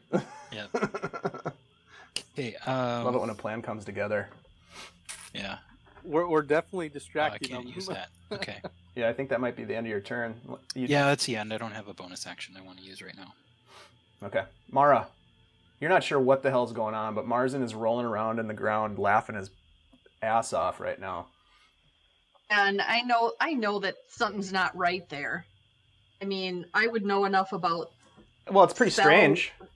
well, but I, you know, having the ability to do spells myself, it would seem to me that I would know that something is not right. Maybe roll an Arcana check. A disadvantage. Yep. Thanks for the reminder. This isn't any sort of spell that you've ever seen, but it does Right. it does seem very out of character for Marzen to just start rolling around in the mud, laughing. It does. So it does. from that, you gain a bit of insight. Yeah, yeah. Um, then um, I am going to uh, I'm going to uh, cast a detect magic just to confirm. You cast detect magic, and within the radius of thirty feet, you do, do not detect any magical properties. Okay. If I can possibly catch her eye, I will try to get her to move forward. Yeah, that's that was my next move. I'm gonna I'm gonna go past Marzen and and. uh, I guess I would say the only magical essence that you detect is the sword that Cor- or that Corben is carrying. got it. That's giving off a massive magic glow. Got it. All right, so I'm gonna I'm gonna carry on. I'm gonna move forward, even with Corben here, so I I can kind of Yeah, you have an eye- 15 feet of movement total, and then roll a stealth check at disadvantage. one, two, three. That about right? I, it's hard for me to see the grid. Have I gone too far? Wait, hold on a No, that's fine. That's perfect. Okay. Um, and I, you said stealth with disadvantage. Correct. Ooh. Still plus 10 because you're Yeah. yeah you're within. All right. Um, great. End of your turn brings us to the the lovely ladies in the cart. And the one that asked you, Corben, if you were looking for a place to sleep, you see her reach into her pocket and take out a pinch of sand and some rose petals and grinds it up in her hand as she's looking right at you. And I need you to make a. Oh, it's not a, it's not a save. She's gonna cast sleep. No, it's just a charm. Um, this is a it's no, Well, it's not it a doesn't it's not a saving throw, so you wouldn't get your bonus. Um, due to my Um, Fey ancestry, I can't be put to sleep by magic. Oh, all right. Well, she's she's still Ah. she's still gonna attempt because she doesn't know that, so she's gonna go ahead and try.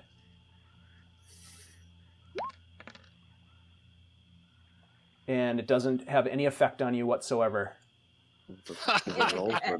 That, that was weird. What was that? That was awesome. Um, what are you trying to do? Yeah. We're just trying to pass through here. You guys are playing games. You're not welcome here. And the other one, as seeing that you reached out for the reins, which is somewhat of an aggressive movement, she is going to. You see this sickening greenish energy that lashes out towards you from her hand.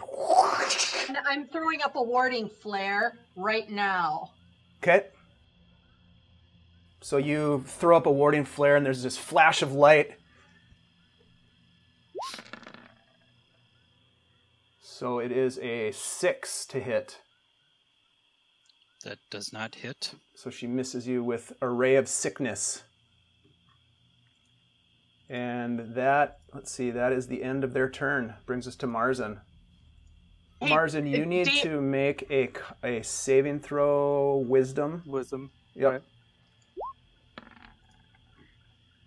Plus five because he's still next to me. Yep, you're still laughing. Yeah, it's still fucking hilarious, dude. Our plan with Yeah. the shit. All right, Stan.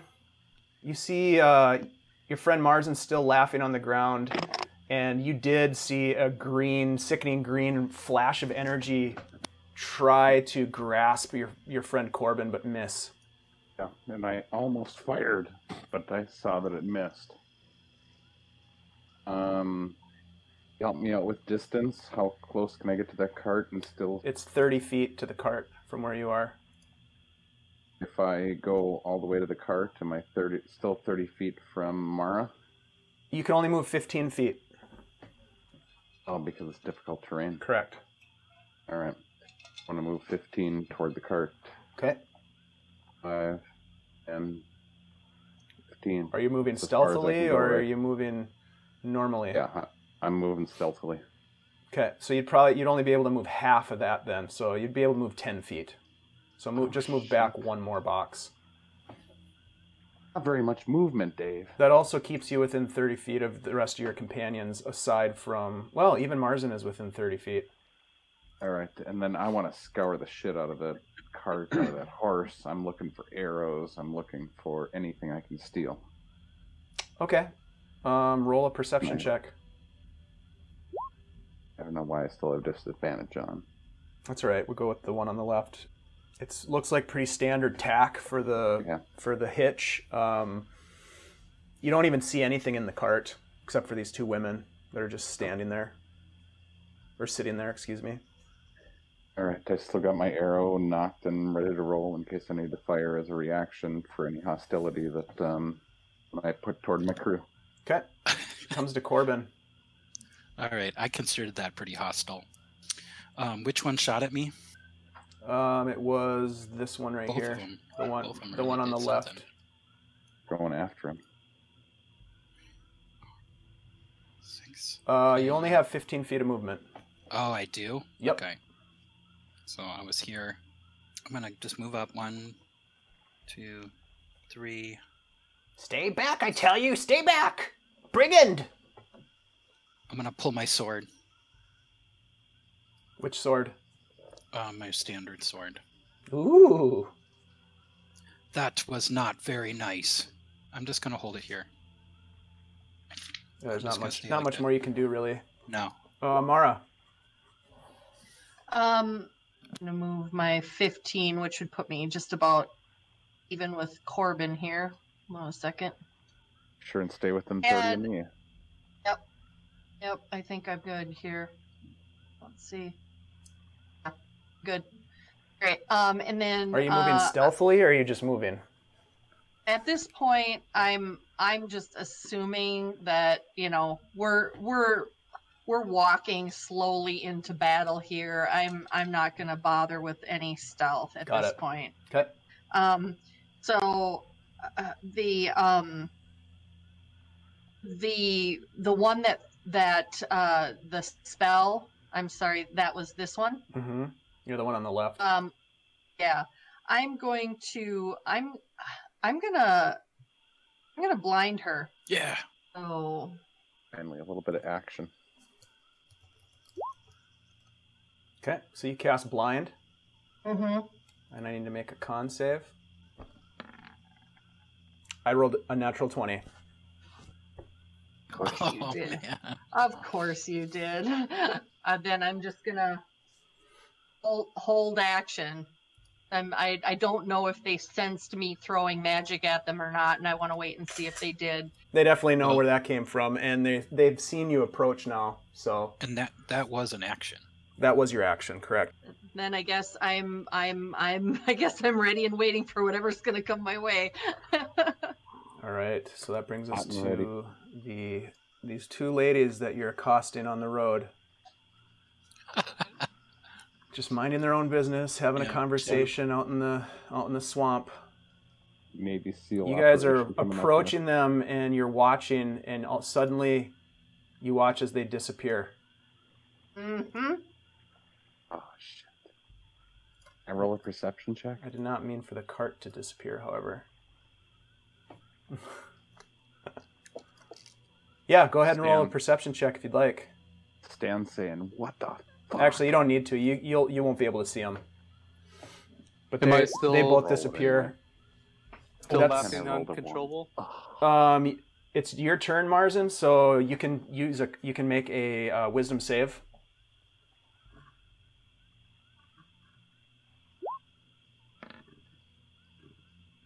plus uh do you have the plus five on that one or no Uh, I don't know. Do I, Corben? i don't think so It's ten feet, so he's too far away. so you're still laughing All right.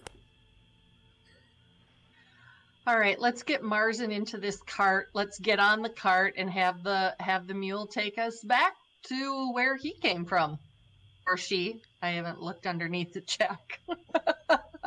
Stan, is there anything that you want to do? You you watch as these two women disappear from the Yeah, cart. I say, what the hell? Um,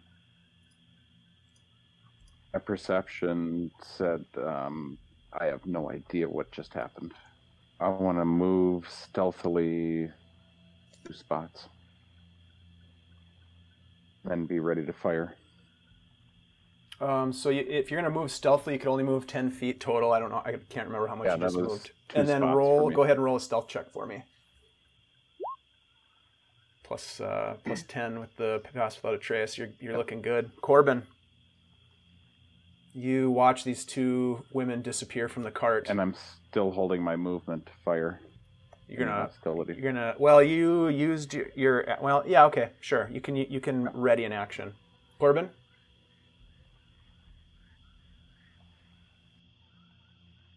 I'm just gonna take a swipe of my sword right through that cart just to see if they're s- just invisible. Okay. Ooh, Roll. Roll to hit. music day. Yeah. Your your sword just slashes through air, and makes no contact. Where did they go? Uh, Mara. Guys, um, I don't know where they went, but let's let's go get Mars Marzen and put him on this cart and take the cart through this muck instead of us having to walk through it all. Drive the cart. Well, I guess they know we're here.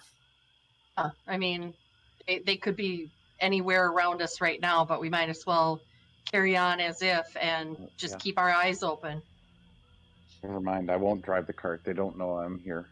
I'll follow along, along the side. Is that the end of your turn, Mara? Are you gonna just gonna- you're I'm just gonna- giving orders, gonna or go- is, No, I'm gonna go towards Marzen, or I'm gonna go towards Marzen, and and go to the mule to have the mule hopefully follow me. I don't know if if he will, but I'm gonna give it a try and uh, go over to Marzen to help, you know, pick him up and move, get him onto the cart. That's gonna be the the goal here. okay? So go ahead and move your 15 feet. Yep, and then roll an animal handling check.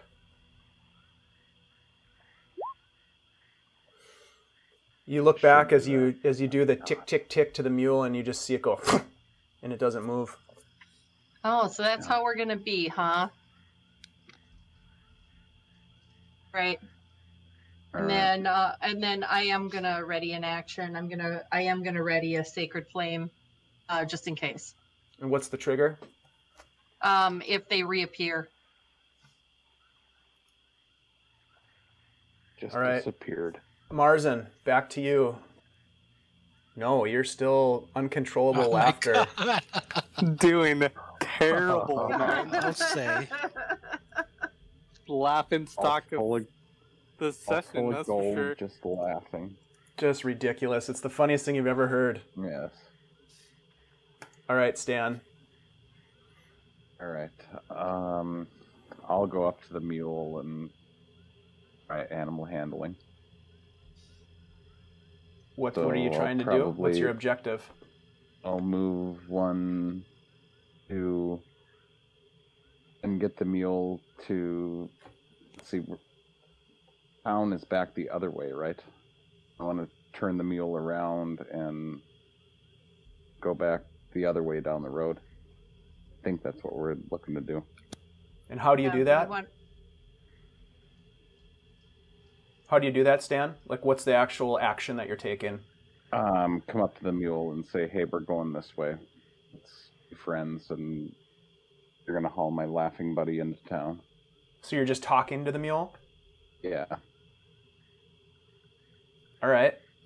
Um, roll a animal handling check. There we go.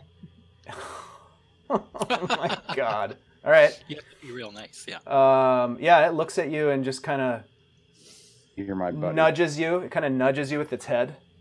Yeah. You get the sense that it likes you. Yep. Everybody loves Dan. oh, that's funny. Stan, um, as the mule touches you, you see just faint glow of green energy over your shoulder.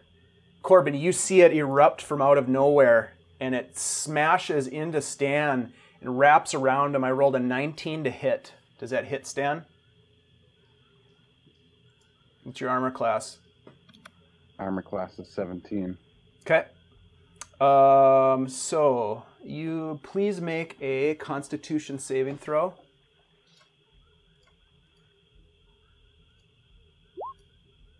Oh my god. Uh, let's see. So you take You nine. You take nine points of poison damage, Ooh. and you are poisoned until the end of your next turn. That means that you have disadvantage on attack rolls and ability checks. The mule mauled me?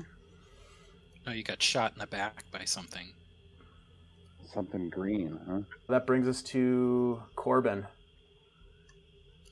Um, so did I see that as coming from this witch that just popped up here? Um, roll a perception check. You may or may not have. No, Oh you didn't. Are you s- Jesus. These rolls tonight. Um, I turn around. I see Stan, Stan crumple. Um, I don't know if he crumpled, but he did get hit with this strange greenish greenish energy, and he looks he looks like he's sick. His face is pale. He looks a little uneasy on his legs, like his knees are starting to shake a little bit. Um, that wouldn't have caused me to fire my arrow that I was ready, right? Um, no, because you wouldn't have where it s- came you wouldn't have seen the attack come in. Yeah. And and can I There see would be this? no target. There'd be no Can I target. s- can I see this woman? You're on the other Okay. side of the mule, walking Okay. towards Marzen, so you don't see any Okay. of that happen. Right. And so, based on my perception roll, I can't see her either. Correct. Oh my god. You're not looking in her direction. You didn't see where it came Yes. from. I don't know what to do. Yeah. I know what to do. Well, you see her. You look over at Stan. You see your friend like all of a sudden, like ill, wavering. Yeah. You know, So almost I'll- on the I'm- verge of vomiting. I'm gonna run up to Stan. I'm gonna move up here. Okay, you move 15 feet closer to Stan. And What what kind of action do you take? Okay, I just want to get closer to Stan so that he can, you know, benefit from my aura. Okay, so you kind of reach out, put a hand on his on his shoulder, like, "What's up, buddy?" Yeah, and that's it. All right, Mara. Guys, let's get Marzen and get out of here. And I'm let's let's uh I we've got the mule following us. Let's let's go. I'm gonna I'm gonna go towards Marzen here and uh I'm gonna grab him and drag him another like five feet in this direction. So that we're both right where my token currently is now. I think that that's all within my movement Okay, ability. so you're gonna do you, you move up to Marzen. And then I, I'm grab him by the collar and I'm I'm gonna try to drag him towards the cart. Okay, so you can get to him and uh, you can try to pick him up off the ground this round. I'm I'm not gonna try to pick him up. I'm just gonna try to because I'm small. I'm just gonna I'm gonna drag him. Oh, got it. I'm All right, just- so you I'm- just grab him. I'm like, I'm grab him, grab him by the collar, by the cowl, by the neck, whatever Yeah. of his of his garment, and I'm pulling him. Mm-hmm. I'm dragging him along the ground here. I want to try to drag him this far. I, I think that's as far as I can go, actually. Um, roll a strength check for me at disadvantage.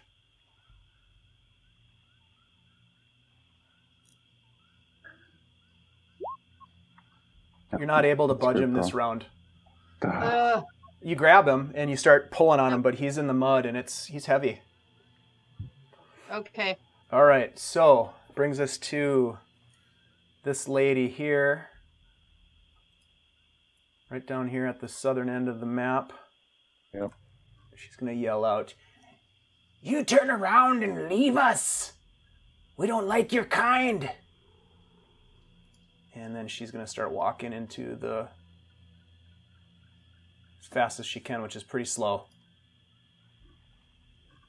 And. The other one is going to do this. The other one. Where's the other one? Still All right. invisible. It's magic. Brings us to Marzen. Marzen, roll a wisdom save. Roll well. Oh my god. oh, good lord. Was it four fail saved now? Yeah. It's, I've never seen this spell work so well. Dude, what the fuck is going Dude, on, man? What's with this game breaking spell, Dave? I don't know. It's, it has nothing to do with the spell as much as it has to do with those shitty no dice. Uh, Well, you know, uh, if I I, if I was I'm up, I would just be in the dice. hut anyways. That's funny. Oh, That's really Yeah. funny. just make a hut and say fuck it. he can't. He's paralyzed with laughter. Mhm. Okay, Stan, you uh you are in rough shape right now, sir. So you can you can try to do whatever you want to try to do, but you are poisoned until the end of your turn, so you have disadvantage on attack and ability checks. I would like to hop on the horse and ride it the hell out of here. The hop on the mule. Okay, go ahead and roll an animal handling check with disadvantage. And I do it. Oh, Yeah, you get up on top of the horse. You just Yes. climb your Yes, sick ass poison outta body up on. You're just really bonded with this mule, and uh, Everybody get on the wagon. That's Hop on, we're getting out of here. so you're able to get up on the mule.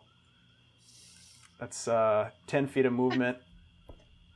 So you're up on the mule this round. Yes. That brings us to Corben. And I if really I don't. have anything left, I will be ready to fire an arrow at anybody that um, gets in our case. But I have a feeling that that's my movement. I don't. I don't know what the point of running away at this point is, but We'll just um, get off I'm the gonna s- road. yeah, I'm gonna see people moving back and do the same, but I'm not getting on that horse. I moved three, 15 feet. Mara, you want to continue to try to drag Marzen?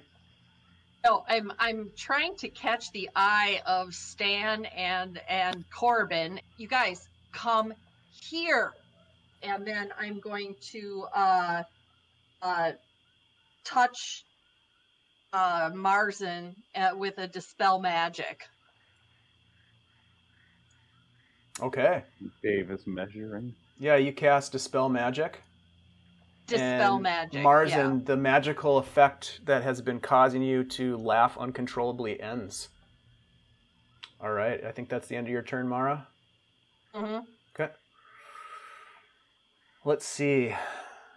Nobody's watching, but this lady turns around and sees you jump on her mule, and she is going to. I'm still A past the frigid beam of blue white light streaks across the marsh from her position towards Stan. And can I Still see can't her, see Dave? though.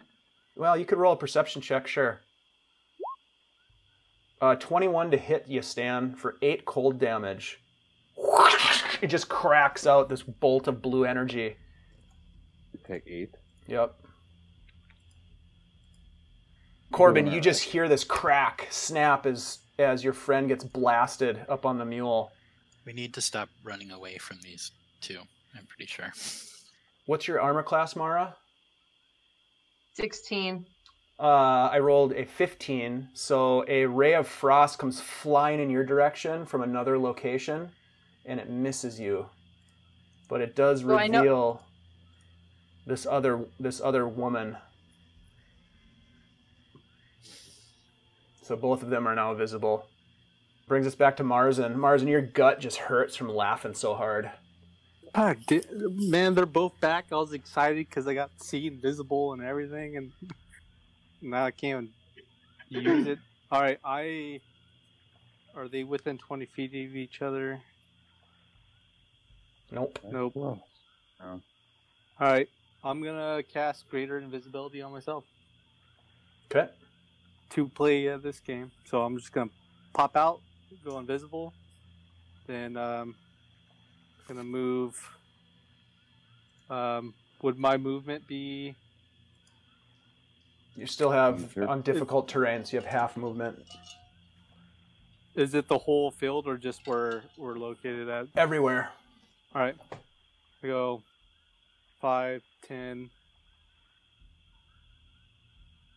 fifteen, and I'm gonna give you a little ninja icon since you're invisible. yeah. Could I take um? Could I take an action? Well, you used an to action to turn hide? invisible. So I, I wouldn't be able to hide too with that. No, You're hide invisible, hide you as don't an need to action. Well, you can. You, just because you're invisible doesn't mean they don't know you're there. Yeah, exactly. Especially Alright, if they uh, can see your feet sloshing around in the mud. Glass. Yep. All right, that's it. Okay. Yeah, you can do that next turn, but it would take you an action.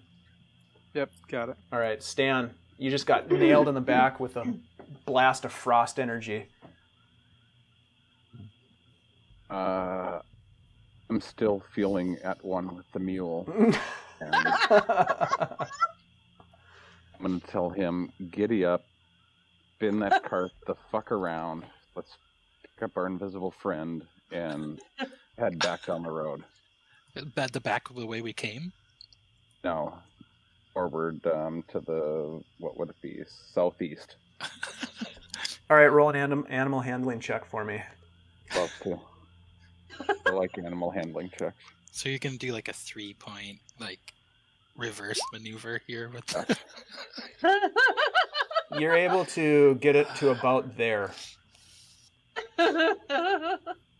And then want to.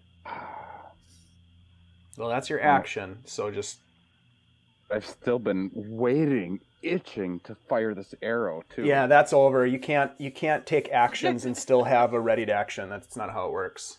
Okay. So It's just checking. yeah, I mean, it's, it's not that you don't have an arrow still in your. Well, actually, you'd probably have to do something to be able to jump on a horse with a bow. So, anyways, you uh, you take your action to try to turn this horse around. That brings us to Corben.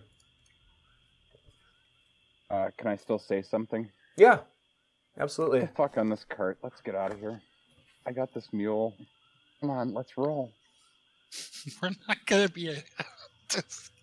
okay. I'm just gonna run up one, two, and take cover behind the cart. And um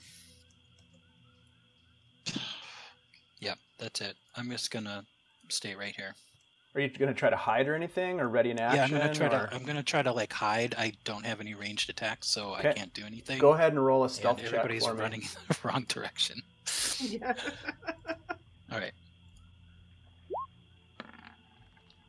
You feel like you've got good cover and that you might even be hidden. Great. That brings us to Mara. Mara, now you can see both of these women. Having And been whole- having been unburdened of their their precious mule that they raised from a from just a small pony. They don't look happy. Let's put it that way. yeah, way. and and and the horse is in my way, right? Of Mhm. of really much of anything. At this point, yeah, where from where you are, you'd be yeah, they would be obscured. All right. Um. So I mean, you I'm might have a shot to- at this one down here. down here. Yep. I'm trying to ping, but it's not pinging. She's One to the left. She's about Lower 40 feet away from you. The other one would be behind cover based on where the where the mule is. Yeah, 45. All Mhm. right. So, um, so what I'm going to do is I'm going to. Uh, I think it might be time for a scorching ray to uh, our. Um, hold a second. Let me. This one right here. Okay. So, uh, scorching ray.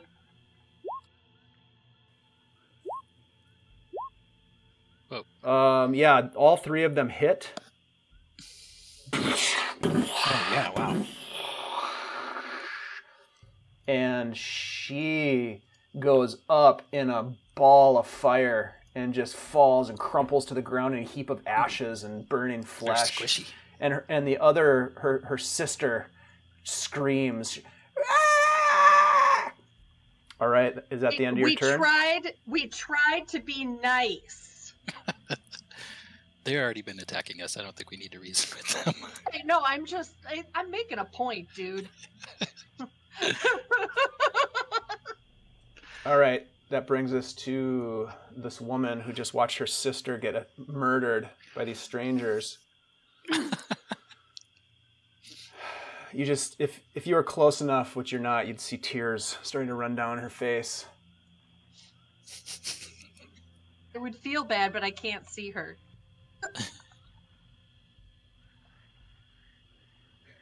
Mara, roll a wisdom saving throw for me. Um, i- i- is this a warding flare situation? Nope. All right. I'm sorry. Was that supposed to be at disadvantage? Nope. Wisdom your saving throws are not at disadvantage, but Okay, you do fail. You drop into the mud laughing hysterically, oh, jeez. rolling around in the mud. Ooh. Wow. Let's see. All right, and then, yep, that's happening. Corben, what is your armor class? Um, 18, I believe. Yeah, 18. Successful. I rolled an 18. Um, you take 11 poison damage, and I need you to make a Constitution saving throw. Uh, let's see. Oh my god. Is that with? with these rolls tonight? Do you get the benefit of your uh, plus five? It's already added in. Oh, it I'm is? Plus seven to Constitution. Oh shit! I'm so sorry. You are poisoned. you you start to twos all night. suffer the effects that Stan was suffering, and so you'll be poisoned until the end of your next turn. Um, let's see. How much damage did you say I took that first time? You took eleven. Okay. As you're trying to steal their precious mule, Stan. Another one of these strange greenish energy bolts comes in your direction, but it misses with a six. Flies past Yeah. you. Flies past. How dare you attack our sister? That brings us to Marzen. Um, You are currently invisible. There's a lot of freaking witches now, guys. Start killing something. Um, that one's taking damage, right? You wouldn't know. You were busy laughing. All right. Well, I'm gonna attack it, and with uh, Toll the Dead, Mm, hmm Is that a saving throw? uh, Wisdom save. Got it. 17. Saves, so nothing. Yeah, I'm just gonna stay put then, or I'm gonna actually move 15 feet up. Actually, 5, 10, 15. My half my movement. Actually, I'm gonna go once arc. 5, 10, 15. Go 5, 10, 15. Just in case they do a fireball on the cart. All right, that's it. And you're just moving as at normal speed, obviously, if you're moving 15 feet. So let me just see if they notice you.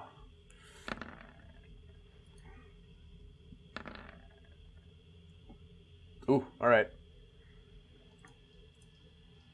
Uh, Stan. I'm gonna continue with this mule. So you're still trying to turn it? Kind of Go ahead and thinking roll. about hopping off, but I'm gonna. can't you can't move the mule and attack, just so you know. I know. Roll Okay. an animal handling check. Too. Get this mule turned around.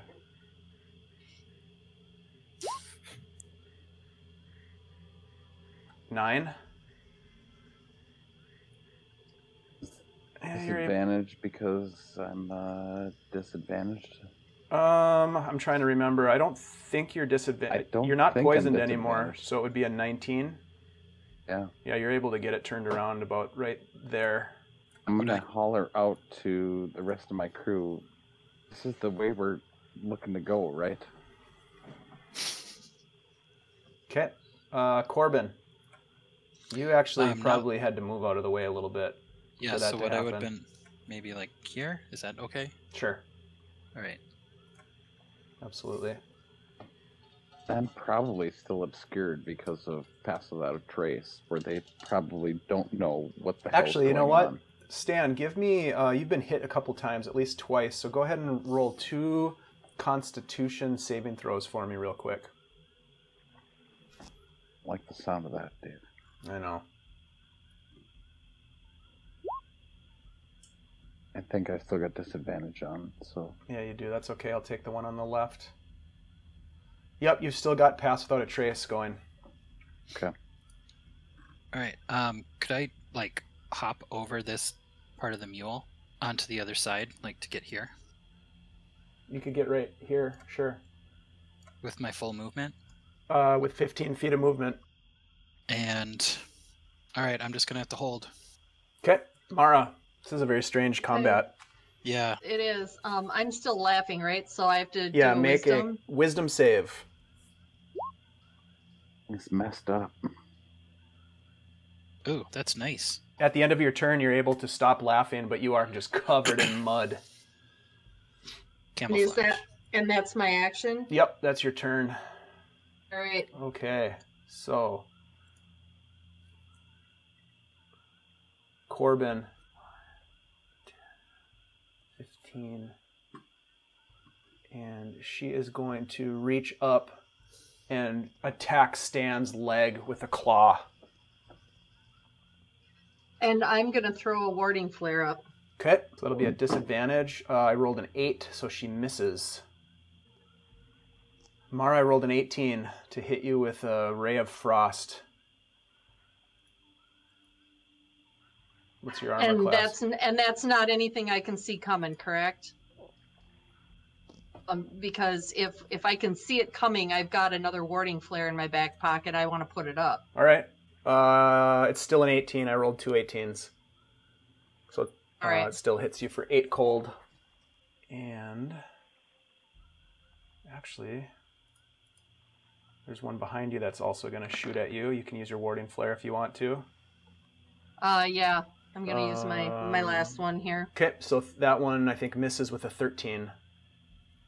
Okay. And this one here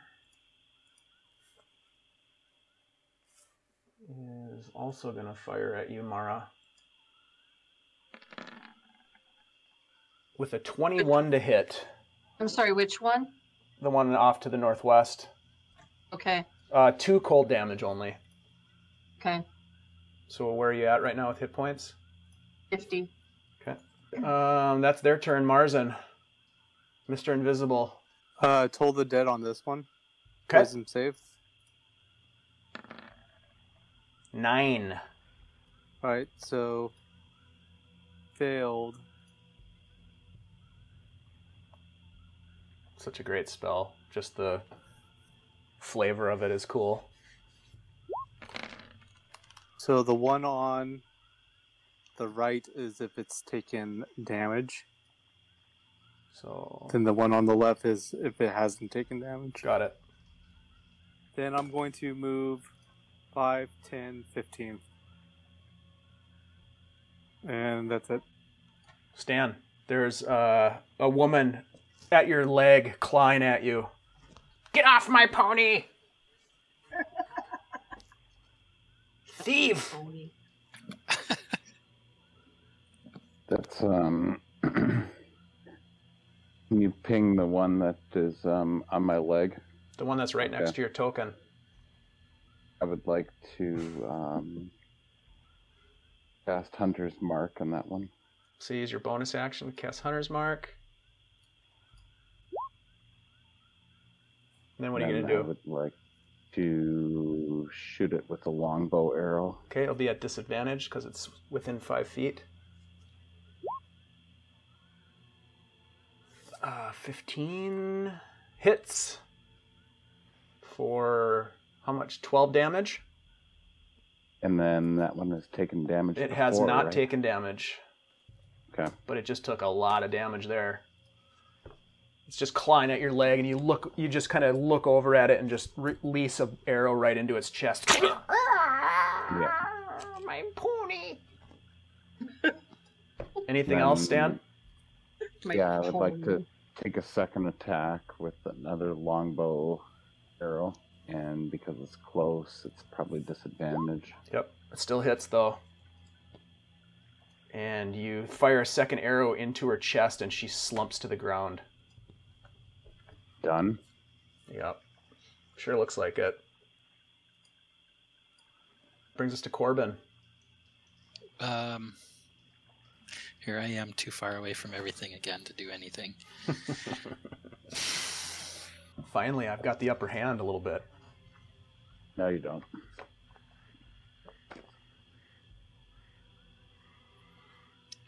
Um, I don't know. I'm I've shut, I've move. shut you guys down quite a bit this combat, Yeah. I will say. and very awkward and spread out. And, Yep. It's been effed up, but I don't think you have the upper hand. I can only move 15 feet too. On top of it, it's Yep. like Just thick Actually- mud. I'm gonna take a dash action and just keep going after this one I see down here. Okay, so you can move another 15. One, two, three. Okay, I'm done. All right, Mara. Okay, um, I'm I Taking am a couple of to blasts from behind you and off to the side. this this one right here has already gotten damage right from Mhm. Marzen. Um, I'm gonna I'm I'm gonna do scorching ray again. Okay. I'm gonna hit this. I want to hit this one first. Um, see what kind of damage it does, and then move to this one, depending on what happens here. Hmm. I would say that you probably need to make that decision as you cast the spell rather than waiting Okay. because it all happens in sequence. Okay. Great. Um. Great. Well, I'm still. I'm gonna. I'm gonna hit this one twice. Okay. and then and and then this one the one that's left Okay. right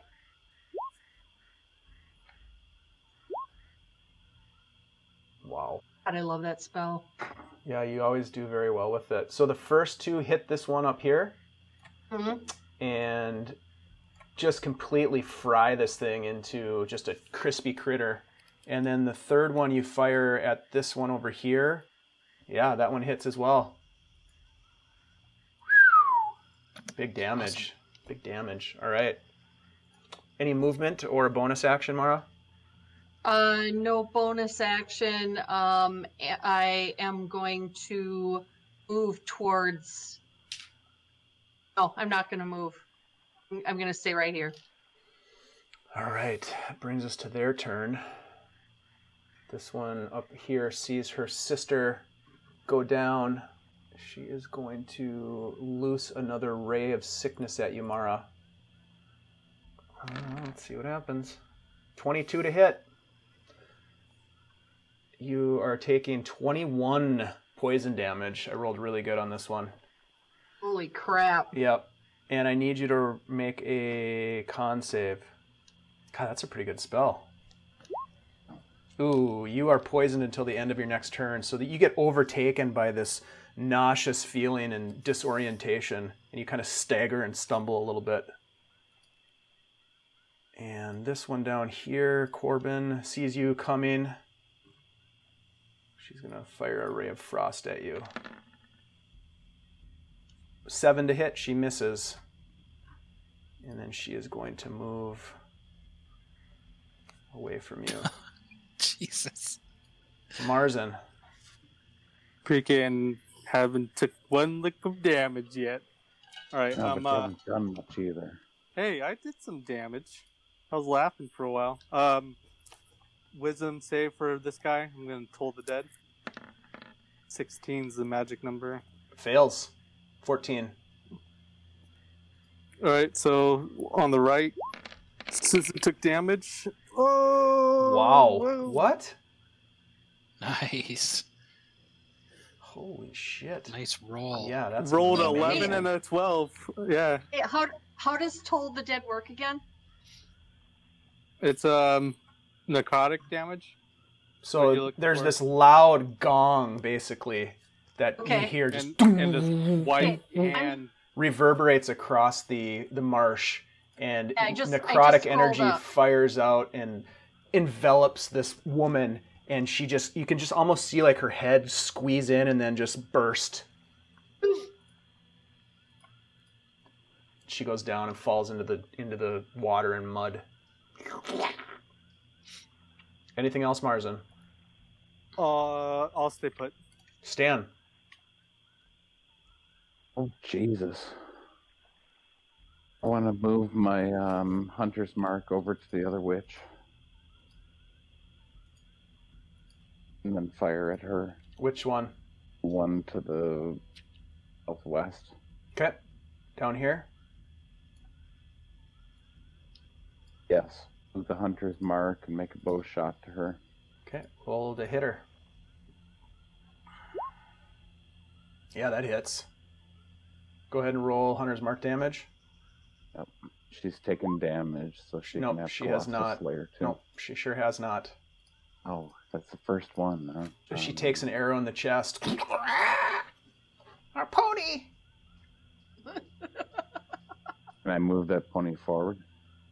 The pony, the pony. You would need to use your action to give it a command, which you've already taken an, an attack action, so no. Okay. Then I want to take a bonus attack and shoot at her one more time. So it's your extra attack, you mean?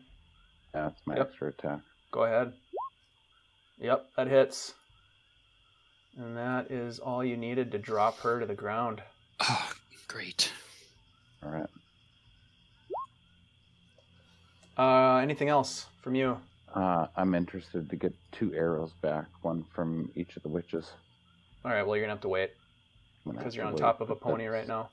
If I'm on top of a pony. Um, I could yell to my companions, "Hey, if you can pull those arrows out of those two witches, that would be awesome."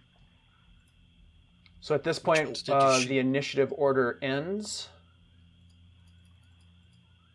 And you don't see any more combatants on the field. So, what would you guys like to do at this point?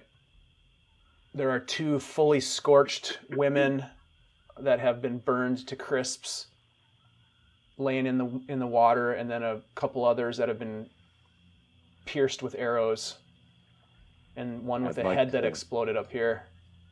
I'd like to send my compatriots over to um, pick up arrows from them or any Okay. other riches that I might be able to get from them.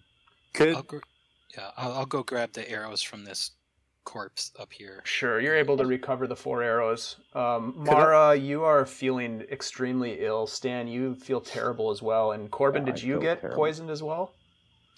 Um, I don't know. I got hit with something. Can't remember. yeah, what it I think you did. So the three Yeah. of you have are feeling extremely uneasy at this point. Yeah, guys, um, I think we. And Marzen need is nowhere to be found. He, he's gone. He's invisible. Could I search the body of this one real quickly? Yeah, I want to. I want to. I want to do the same for these two. I'm. I want to look them over and see if they've got any potions or spell casting stuff on them, anything like that. This one, Yeah, each of them has a dagger. Right? Uh, each of them has a spell components pouch that has things like ground crickets and uh, different herbs and sa- pinches of sand and all kinds of little spell components. Awesome. I'm gonna. I'm gonna grab the pouch off of this one and this one, and offer the daggers to whoever on my crew wants them. Uh, I want a dagger. I'm gonna grab the pouch from this one down by me. I would like to grab a pouch from one too. Sure. I would actually. Could I? I want to take the clothes off of one Yeah, you can. That You can take the clothes. and the witch hat and stuff. Should we hide Yeah, these that- bodies? That's, that's a Yeah, really good idea. Hide the bodies. Marzen, that's a great idea. I'm gonna I'm gonna do the same with this one. I'm gonna I'm gonna take I'm gonna take her clothes. That's a really good idea, Marzen. Thank you. So I'm only gonna- only three of them are have clothes that are salvageable. Two of them are All right. totally singed and burned to a crisp. Uh, Stay with my same clothes, and I will work to um, get this donkey mule under control and working for us. Roll a ha- animal handling check at. for me, Dan. Yeah, it takes some time. This thing is its initial uh, warmth warming up to you is sort of it's it's stubborn in terms of moving it around, but you are able to Yeah. get it placed more appropriately in the direction of the southern southern trek. Could I cast uh, See Invisible just to make sure Sure. that we're clear? Yeah, Make Go sure I don't and- see any other ones. mark it down off your sheet. All right. Guys, I think we, I, I think we need to hunker down in the hut and heal ourselves, and and and uh, because I think we've got a big something waiting for us down the road here. Should we hide these bodies? Do you think? Yes, put them in the dome.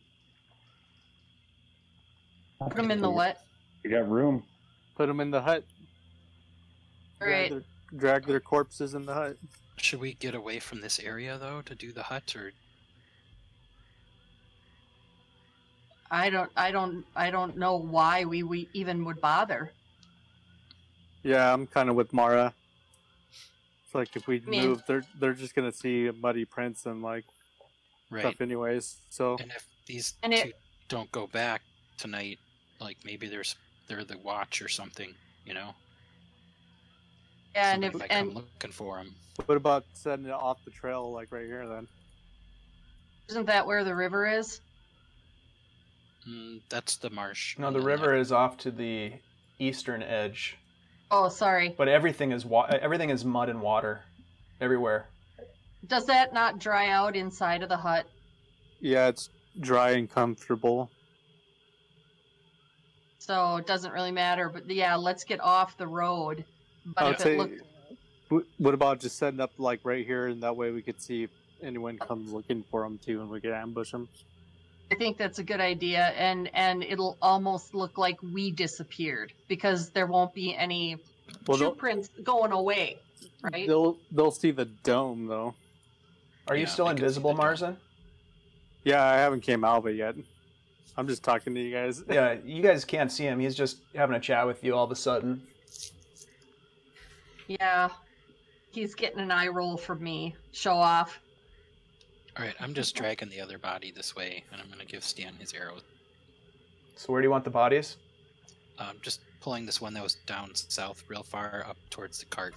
Okay. Yeah, like pile pile them all up, kind of here. All of them. I'll do the same. So a couple of them, a couple of them are naked. Two of them are uh, singed. We'll Well, they got they got they got undergarments on at least. Oh, we don't know Um, that. Let's see. no, you do now. One of them does. The other one does not. All right. I'm also I'm gonna I'm gonna speak to the one that's unclothed. I'm gonna cast um, speak with dead. So are you casting that before you cast the hut? Yeah. Well, I could cast. I could cast it inside the head. All right, here's what we're gonna do. You have killed five women that you encountered on the road after trying to steal their their cart. And what we'll do is we'll end here for the night, All right. and we'll come back next time, and then we can go from there. So at this point, the the hut has not been cast, and uh, you're just about to sit down to cast Speak with the Dead. Sound good? Got it. Yep. All right, sweet. Right. Morally questionable. Morally questionable. I don't know. These these tokens look a lot like witches, and they they acted a lot like witches, and we're in a place filled with witches, so I'm pretty Uh, sure they are witches. Are all the bodies are all twenty year old females? Yeah, they're all they're all, all good like looking? in the. I don't. I mean, they're Barovian women in their mid twenties. Yeah, you, you guys are animals. Mhm. Yeah. I was just You're laughing for a while. All right. Good luck to Alright. us all. All right, guys, great job. All right. You, you killed a bunch of Thanks, babe. ladies and stole their pony. Nice, nice, jo- it like a boss. nice job. We'll see what happens next time. Good night, everybody. Yep. Thanks a lot. That was fun. Good night. Yep. Good night. Take care. Good night. All right, Yep, bye. later.